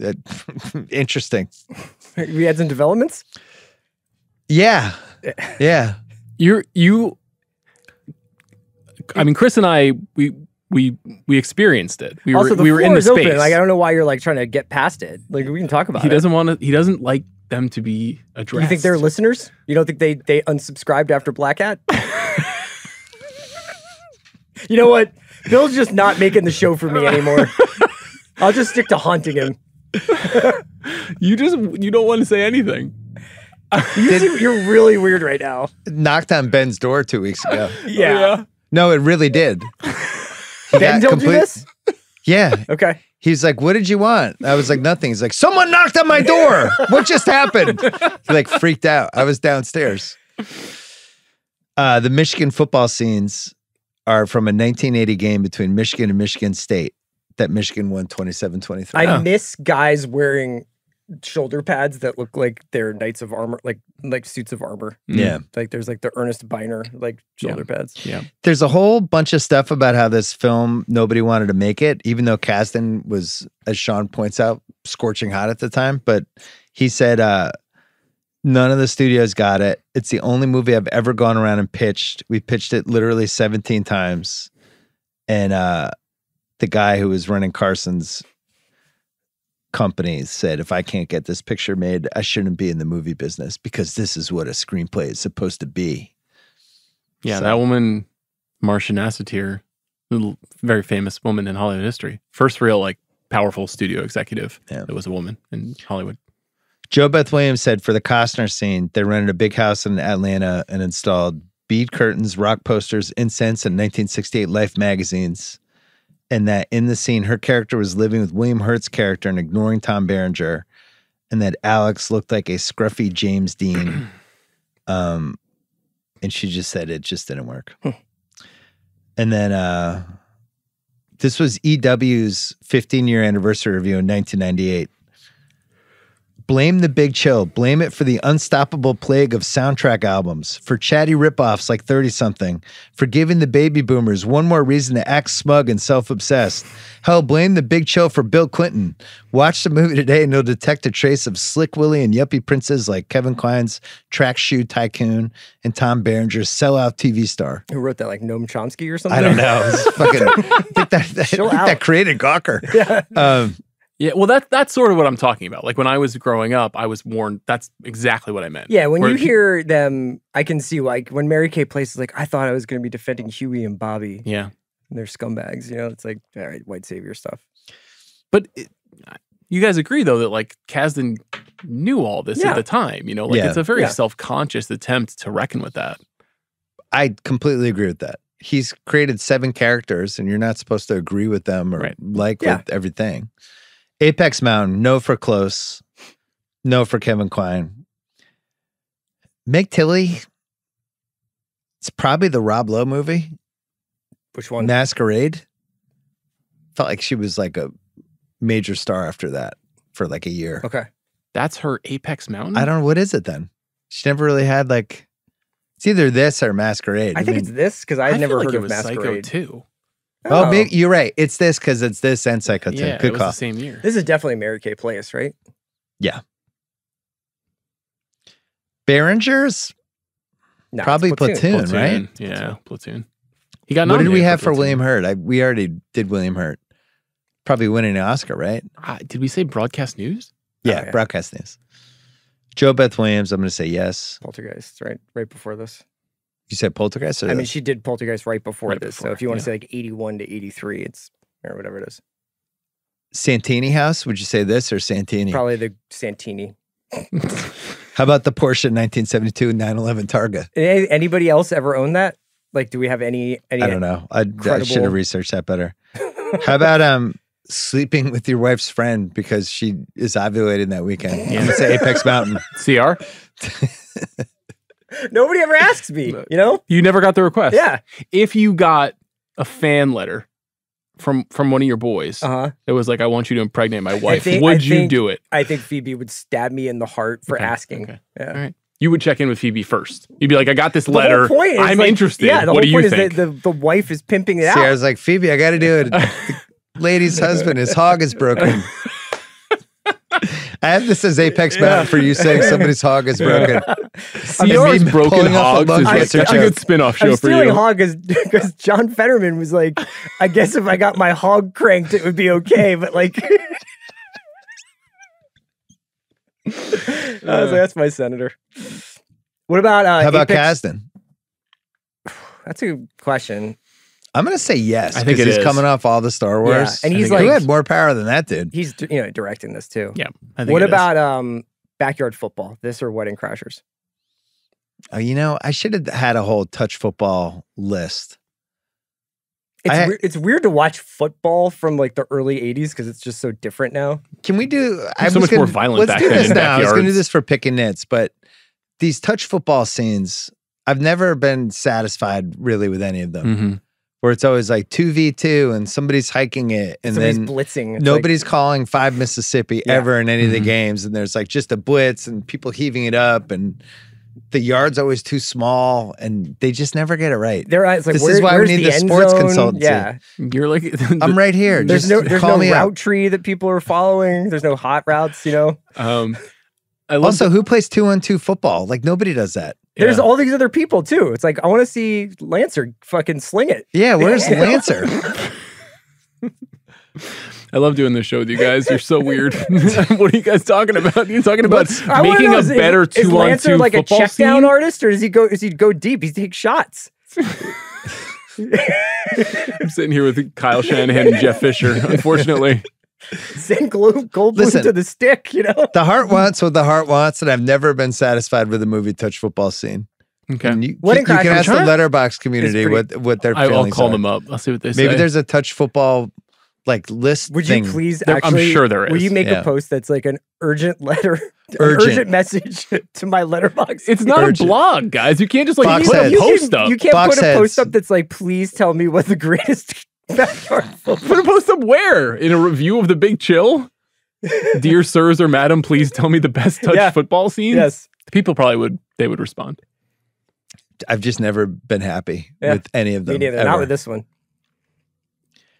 That was when I knew I was going to marry my wife. By the way, when she was dusting one of my college roommates in a touch football game, I was like, yeah. Wow. Was it seven v seven? No, it was like three v three. Oh, okay. And Yeah. you're doing like one Mississippi, like not Yeah. yeah, no zero blitz. Was it RPOs or like play action? She Like what were you guys doing? Dude, she did a stop and go. I was Oh, like, oh wow. my Oh. god! little Mike Quick action? Yeah. Some juke action. Now, nice. now my son's playing both ways in high school. Yeah, she hit the stick in Madden. nice. Um, best racehorse name, Running Dog. Uh, I think JT Lancer is pretty good for. Oh, for- JT Lancer is horse. great. Good Yeah. call, CR. Picking nits. JT Lancer's thumbs. Yeah. How, so, how many rooms did? How many bedrooms did Harold's house have? Uh, I think I don't How big understand was the that back house? house? How does the back house work? the back house that Alex That's where in. that's where Nick is, right? In the movie, is Nick no, in it's that down, house? I think it's below the house. I think it's like that's a where Alex basement lived below the house. Yeah. Oh, okay. There's And the then- master bedroom. Mhm. JoBeth Williams gets her own room. JT Mary Kay Place has her own room. JT Lancer is rooming with, with Nick Nick, in the attic, and then Goldblum's in the kids' room. So that's five bedrooms plus the other room. and plus, Oh, so I this guess the attic like- is the other room. and they have this property like half an hour or whatever away. okay. What do you think of that property that Alex is working on? Good bones. Yeah, I was into it. I the Santini house is unbelievable. That's like one of the great movie houses we've ever had. Is it a plantation house? What do you mean? It's in Beaufort, South Carolina. Like, No, is I, that? don't- didn't do that. That didn't come up in what my do you- research. What do you mean? I'm just saying it's a great movie location. Are location. you house. trying to Jesus. cancel Harold? well, I don't know. You know, maybe Santini needs to be canceled. You know, he was he, He was not a good he, He was a tough guy. yeah. I didn't research the house. Maybe I should have. It was really nice. Did you buy it? No. um, more picky nits. Okay, we mentioned Kevin Kline's accent. Mm. I'm confused how Harold's company had stock. Thought that was weird. Yeah, it's like a It's publicly a small, traded. publicly traded running company in South Carolina. It's a good point. I think it's throughout the South. I It's think like he's Nick, got- I'll get you. I'll get you some stock. It's, Yeah. It's like, what are you? Are you trading on the Nasdaq? Did you? Were you there for the Monday Bell for Running Dog? Like, It's it's interesting. It's also like he obviously is compulsively telling everybody about this as as coked out. Sarah tells him, "You're gonna ruin this whole thing if you Yeah. keep." well, telling that's the other thing. Like, that's you that, know- that actually is the sequel. Is Harold's in prison for SEC Yes, violations? right. yeah. Yeah. Also, like, I'm committing a violation. I could go to jail by telling somebody this. So I'm going to share this information with a drug my runner. drug dealer friend, Yeah. Nick, Yeah. Yeah. who's just a complete fuck up. And Nick's like, I have a key in my wheel well. I don't need your fucking running dog stock. Right. You know? Just give me a wrench and a car and I'm, I'm the good. Medellin cartel's East Coast provider. Like, I had a lot of questions about that. And then obviously, um, Would you insider trade if your boy started a sneaker company? I mean, we went through it We did. the, with the, the, the ringer. Were We couldn't insi- you were insider trading? No, we couldn't tell anybody. Yeah, I was, no, we were all course. t- completely terrified. Yeah. We were afraid to even like mention it to our wives. Yeah. I ha- still haven't told her. she figures something's different. Uh, any other picking nets? uh, I don't think that Nick would be as chill about a bat flying through his window after three lines of cocaine as he is in this movie. Mm. He's just kind of like, oh wow, bat's here, you know. Uh, and Bats are also, scary. yeah, I'd be so much more scared of bats. yeah. Bats They're are fucking terrifying. flying Yeah. rats with rabies. But like, you- you- we've seen the second half of Goodfellas. I don't Yeah. think like Henry Hill would be like, "Oh, a bat," you know. Uh, and then This Harold was the only bat that we had. Harold really bought. Karen! you left the window open. Did I tell you I watched I watched uh, Flying to Boston last week? AMC on DirecTV. They had Goodfellas, and I watched Goodfellas on AMC.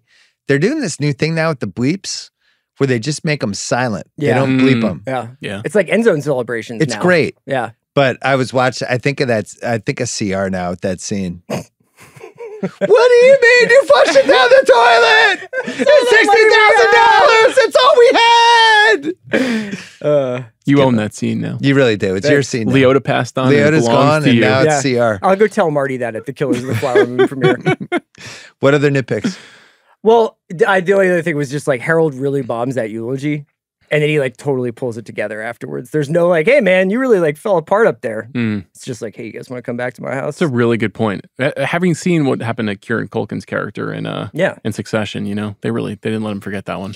Also, is that the guy you want giving the eulogy? You know, when Alex bonked my wife, Great point. it was it was tough for all of us. Uh, I have a nitpick. Yeah. If something like this happened, would you really let Meg Tilly's character hang around you and all your friends? Yeah, but Wouldn't how you be like, would get the fuck out of here? no, because it's they're, they're like it's all good. It's the late '60s vibe of like Yeah. property is But she's like such an airhead and weird hang Yeah. that Well, when you watch the movie, you're kind of like, "Get the fuck out of here, man!" That's what like, I want to see all these people interact. But at this point now, I'm like, this is kind of makes sense that this outsider is here observing these people and being like, I think you need her because like she she makes that comment at one point about how you guys I don't think about the past like you guys do. I Mhm. always and it's also she's past supposed to be a that fun. younger person who's like, I don't look at the world the same way you guys do. I'm doing yoga. Yeah, It's like, whoa, cutting edge yoga, 1983. she's Yeah. doing like little like some Fonda exercises, right? Yeah. she is. It's just kind of it's just kind of a device. Yeah. You know, it feels like to draw a contrast. I'm fine if she's not in any of those scenes. Sequel, prequel, prestige TV, all black cast, or untouchable. I think it's all five. It's it's I would watch. unbelievable. I would watch. It- I, I all s- the I versions of completely agree with you. I would watch like a prestige TV version of Nick and Nam, you know, and then he, with an all black he's like the he's like white American gangster bringing drugs back from Vietnam. The, it's the, like the black chill, like they they made the black chill. Like isn't the wood like the black Yeah. chill? Like they've They've done tried this. a few Yeah, times. Yeah. Yeah. Is this movie better with Wayne Jenkins, Danny Trejo, Frank Vincent, New Edition, Catherine Hahn, Steve Buscemi, Sam Jackson, J.T. Walsh, or Philip Baker Hall? I was thinking about Wayne as uh, Sarah. God damn, Meg! I didn't know I was weekending with Supermom. Your biological clock is drowning out the band and the Staple Singers rendition of the weight. I hope you're serious about parenthood, because I'm sending you my husband with a motherfucking brick of genetic code. You're about to be a parent a long fucking time, big boy. that was good. That's what I was tweaking. That's great. That was at your workshop? Yeah. You're about to be a parent. Uh, Who's the you still got it. You still got Still it. got it, tried, Great tried. job. When when it's the three of us, I really try to bring it. Yeah. Just one Oscar. Who gets it Uh, Kasdan. Yeah, Kasdan. for what screenwriting? Yeah, it's cr- Yeah. it's crazy he didn't win for original screenplay with Benedek. Was it Terms of Endearment that won? Yeah. No, that was adapted screenplay. I think oh, right. uh, That's McMurtry. what was the one who won original? I can't remember. Horton Foote for Tender Mercies. Oh, that's a good movie. Come on. You don't like that movie? Nah, Big Chill should have won. Okay. Probably unanswerable questions. Did Meg get pregnant? I guess we litigated that. Uh, We'll, I nev- we'll never you know. know. They never had a sequel. Why was the Rutledge scholarship such a big deal? What do you think it was? probably like it was like sponsored by like some corporation that Alex didn't agree with Yeah, or it something. felt kind of like the Rhodes Raytheon? Scholar Yeah. thing, Like a Rhodes Yeah, Scholarship? Yeah, yeah. So is, there's a lot of reading between the lines, which I actually like, but so he turns that down. He goes to Vietnam and gets fucked up in Vietnam. No, I don't think Alex goes to Vietnam. don't I think think, so he either. he drops out of school and then just like kicks around the country for a while. Yeah. I think Nick's the only one of them who went to Nam. I think he's a little more of a, just a drifter. But we don't know that he didn't go to Nam. we don't. They don't, but, but you would have thought that they would have said that in So his what eulogy. happened to Alex then? That's what the movie is about. No, but but even from the Rutledge Fellowship, he turns it down. I think that there's Something just like happens there are over a those bunch next of two people who are living on the edge slash in the counterculture, and they're like Yeah. rejecting what society wants from them. Then most of them are like, "Eh, fuck it. I'll go. I'll go make money. I'll go start Mm-hmm. a family. I'll go be a lawyer. I'll go be an actor." And Alex and Nick get stuck, and Yeah. they're just like, "I can't go be part of society now." You Mhm. know? Yeah, I, think- always took it as Alex was also in Vietnam and got messed up there. I never thought of that. It's possible. I always just thought he was clinically depressed. Well, he bounced back in American Flyers. Bull fucking Durham. Maybe, maybe you're, Any other unanswerable questions? yeah. Would you, would you guys invest in my club? I was wondering about this with Michael. You've been doing this for years. well. you just I- shit or get off the pot. I think as a bar, I've already got you guys down, right? As investors, Yeah. I'm out. But if, if what if I was like I'm opening a club, like nice guy? I think club is just one in 50 chance it Yeah. works. Okay, good to I'm know. trying who to- Especially if. Michael was running it and skimming off the top. Could you imagine Chris as like uh uh what's the character's name from Boogie Nights? Oh, Luis? Luis. just trying to just trying to sidle up to every young woman that No, I the want to club. Open. your A, I style? want to open a bar, regular bar. Can I ask you guys a question? Yeah. Y- So you're officially Gen X, right? By birth? Uh, I don't I know. don't, we don't count Chris. Yeah, I think I might be too too young. 77? What is that? Gen X is like you had to be either in college or right out of college in the early 90s. Yeah, I'm not until ninety. So then what are you? I think it's Y, isn't it? No. Well, millennial would be next, but you're not a millennial. Millennials Isn't, in isn't- 1980. literally, isn't there gener- generation Y? How many years is that? Like four years? I don't know. I don't. really Chris's subscribe generation just drafted off our fumes. It says Gen X is 65 to 79. I, Oh, I'm so almost I guess I'm late horseshit. X. Okay, yeah. I don't I think you, I, I always thought you were X. So as two Xers, Yeah. You Do you- tell he's mad about having to share Eh, it with me. That's fine. I'll share it. why are you mad about that? I'll share it You with and Chris. CR, you guys are you guys are boys. I'll share it You're with him. brothers. Wasn't not an official Gen X. Do you feel closer to boomers or to millennials?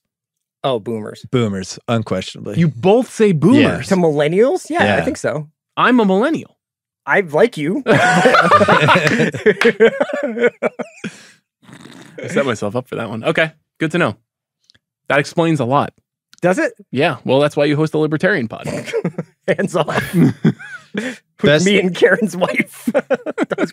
How long did JT Lancer last on the air, and what was what was uh Oh my God. Bill. What was Sam's next 10 years looking like on IMDb? I have thoughts.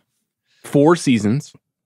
So, like, First, late, first two seasons of a top 10 show, makes it to like 1987, 88 range. and then canceled. Canceled. Takes a year off, and then he's in a legal drama, and he's a lawyer. Oh, so he's in LA Law. Yeah.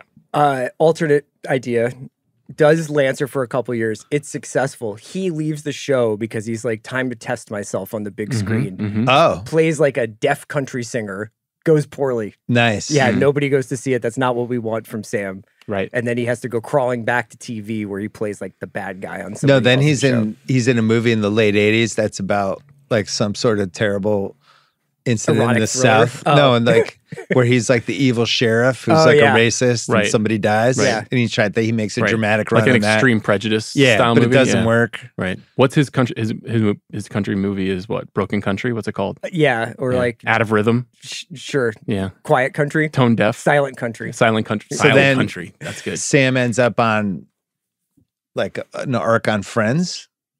Oh, like Tom Selleck. Yeah, like the Selleck kind of run. But he I guess can't be he's on basically Friends. just the Selleck run. But is it like is he on Caroline in the City instead? Like where does he get? Yeah, 'cause he- something like that. all right.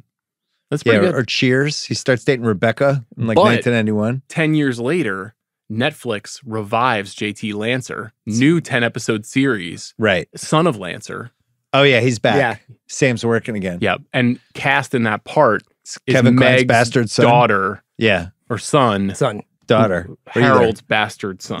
Yeah, that sounds great. This could be a good show. Harold's bastard. Best Like double, best South double Carolina. feature choice with this movie. Grand Canyon, right? Yeah, yeah. Okay, a little more mixed on Grand Canyon. me too. But it feels like the right double. It- but it is a very interesting like through line of of this kind of person throughout the next couple of decades. I do really like the scene when uh Danny Glover gets the gang to let him take the car away because it's his job. Mm-hmm. I think that's just a. I think Danny Glover is really good in that movie. I think I only like that movie because of Danny Glover. I don't really like that movie that much. It's it's just an eerie artifact of history because it was released like two months before the LA riots. Right. So it it, it now seems like such an odd th- odd little snapshot. the Andy and Red Zihuatanejo Award for what happened the next day. If I gave you Nick is arrested for drug possession versus Harold gets divorced, what happens first? Nick Nick's going down. Like I, I already think he's got one strike with that sheriff anyway. Yeah. Now than off yeah. to him. Yeah. Uh Do you think Harold and Sarah are still together to this day? There's no way. No. maybe like he lives at the summer house and she lives up in the city house, like kind of thing where it's like married and named only. Do I think- can't believe he forgave her forgave her for the Alex thing. I, Yeah. That's where that gen, that generation they kind of moved to their Is own. Harold our greatest cuck? No man, Harold's Harold's probably like Phil he- Knight. He, probably owns the. That's what I'm saying. Yeah, he's He on owns the Blazers. Carolina is, he, the- Panthers. is he the winningest cuck of all time? Uh how long do you think Nick and Chloe last? Oh, like a week and a half. Yeah. Yeah, not long. She's like, sorry, I didn't understand. You said your hog doesn't work. I was on Ludes. Do you I think- gotta get out of here. Do you think that is, this, is this thing on? it's just like,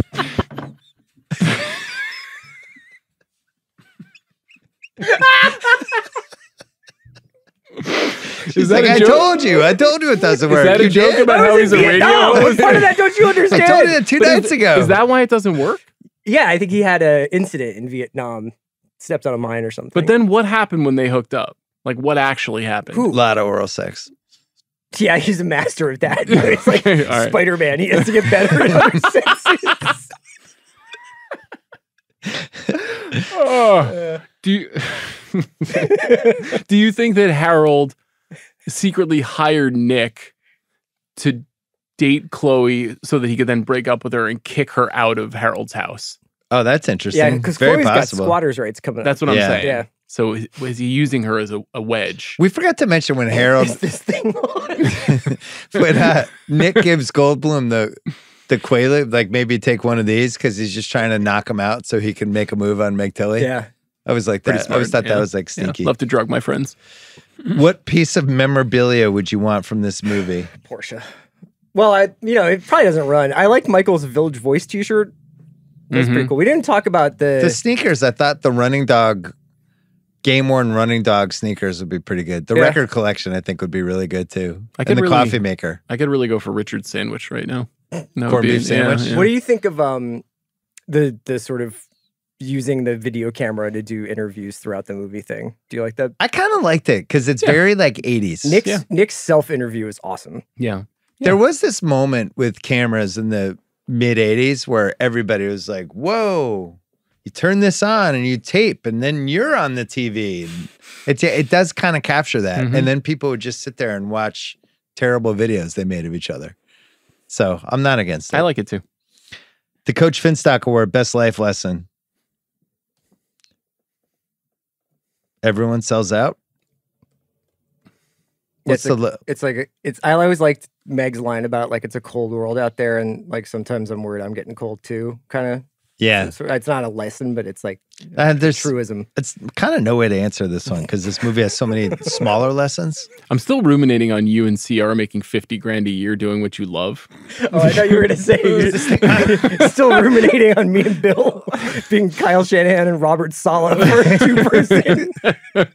I just don't know how you do two on two football game with with no Mississippi. I I was It's the always, dumbest thing I've ever seen. I love pickup football and trying to introduce like very dense verbiage to play Hmm. calls and stuff. If Like, you could cast one member of the Ringer staff to be your number two on your two on two football team, who would you cast? Probably Craig. Craig's got height. sakes, I can you alley oop. Wow. throw alley oops. I'm kind of a nightmare downfield. Craig's good. Yeah, Craig's kind he's of a physical. nightmare I'm long, downfield. I got hands. But you're the Pickens and It's he's the like, he's Pickett. like Anquan Baldwin, but uh, Anquan Boldin. I can't speak. he's like Alec Baldwin. Phys- it's like Alec Baldwin out there. Hey, like big physical receiver. Who would Yeah. you pick? Mm, Mal. Mal is tenacious and will not lose. I You just Priscilla. give her You a guys ton give of- Priscilla, fucking give me the trophy now. Nah, he would absolutely blow out a calf or something two minutes in. a Rogers. T- totally. It's like lifting three hours a day. It's gonna be So he's running ready. around on a He's ready football for field. combat. No, he's limping off. Jeff Chow's pretty big. Yeah, but Jeff Jeff's back is is always like on Yeah, the he's verge of got going. back That's true, but. I've seen him with a driver though. He can really Yeah, you he's can got some launch power. it, but yeah. like let me let me see him in the flat with two running linebackers coming at him. You know, I think it's two on two.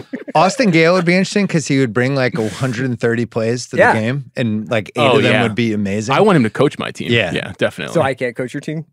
definitely not. No, sorry, Shanahan. who uh, who won the movie? the Cheesecake Factory with you. Um, I always say the, the cast and you know the director, but in this case, it feels like what a personal movie. You know, like it. He he I made think he made the generational movie. I think it's Kasdan as Yeah. well. Craig, I love this movie. I adored it. This is immediately a top five all time of, of rewatchables movies I have not seen before. wow, Yeah. Amazing. high Yeah. praise. Very, very um I enjoyed it. Um yeah, I, I love I love movies about friendship. I love movies about just like like I love singles. I love kicking and screaming, and this falls into that category to me. Mhm. The realism of this movie, and I, I wonder if I, I I I kind of gravitate towards these movies because I find that there isn't a lot of realism in stuff made now. There's not a lot of great stuff made about living in 2023 Yeah. um, that I can relate to. It's all very big ideas, uh, you know, high concept things. There's just not a lot of people in rooms.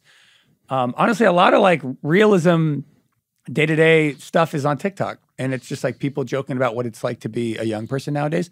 So I don't know if that's why I like kicking and screaming and singles. Is like, wow, these people were making movies in the moment about what it was like to be a young person in the moment, Mhm. and I don't find I have a place to go for that right now. Mm. Um, also, I was thinking about if this movie was made today with people my age or something, like 10 years from now, my friends meet up after 15 years, and just how much worse the music would be that we're listening to. Like we're playing like levels by Avicii. Yeah. you're, you're all staring at your phones, playing levels. We're like dancing around the kitchen island to like Kygo and like I Got a Feeling by the Black Eyed Peas. Yes and no. You'd find music that is actually good that you love. I, th- that was what we listened to in college. It was it was Kygo and house music, and that Yeah. was like the main. That's you sort know. of what I was saying, where it's like Motown is still Motown. Like you can still put on Motown songs and be like, "This is the best song ever written," Yeah. and it's an okay thing to say out loud. It's not just blanket nostalgia. Yeah. Also, you guys missed. uh, I wish you guys talked about Michael Moore, the Goldblum character. The other trope about friends on a trip is there's always one guy who sleeps in way too late and Yeah. misses the You're cleaning gonna miss every some morning. mini dramas. Yeah. if Yeah. you sleep this he late. comes down, it's 11, the kitchen's clean, like everyone's Are already we on the a first walk. ones Yeah. up? Yeah, I love Yeah. that line. Such a Yeah. good line. Yeah, we didn't really talk about Michael quite enough.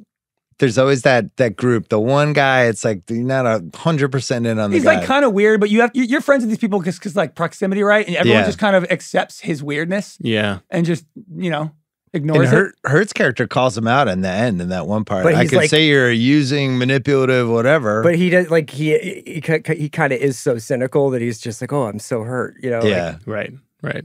Also, I didn't know Berenger had it like that. Berenger was kind of Swagger. a missile Yeah. back then. Yeah. Wow. He, had the swag. Yeah. yeah, it's weird. I don't know who else was kind of like him in the '80s. Also, It's, I, I think, Michael Berenger was- Douglas. I think he was 34 in this movie, Berenger. They don't make 34 year olds like they used to, man. I'm almost 30. Like, That's a looks that's like a different kind man. of first Yeah, 30 it's true. years. Yeah. He's got that thing that a lot of movie stars back then had. But he has a giant head. Yeah. He's Yeah. just got his face is wide. no, it's like him, Sam Elliott. You Yeah. can see him Yeah, like but a Sam Elliott's skull like lad. 6'8". Yeah. You know, he's tall. That's what Berenger missed his calling with the Taylor Scott Sheridan Glenn. universe. Yeah. Mm-hmm. Oh, like yeah. Taylor Sheridan, where are you? And Tom Berenger. Yeah. Good. Pull I'm sure him he'll in. Crank out three more shows next year and get Berenger Yeah, on one. yeah. Like, Right now he's typing. He should uh, revive the substitute, but but set it Did in the you see old that west. picture of Taylor Sheridan with Jerry Jones over I- the weekend? certainly That did. Jerry wasn't a Jones is picture. like, They showed him during the game. Yeah. yeah, I was watching. It was great. Sheridan's going to buy the Cowboys. Yeah, probably. You can probably afford it at this point.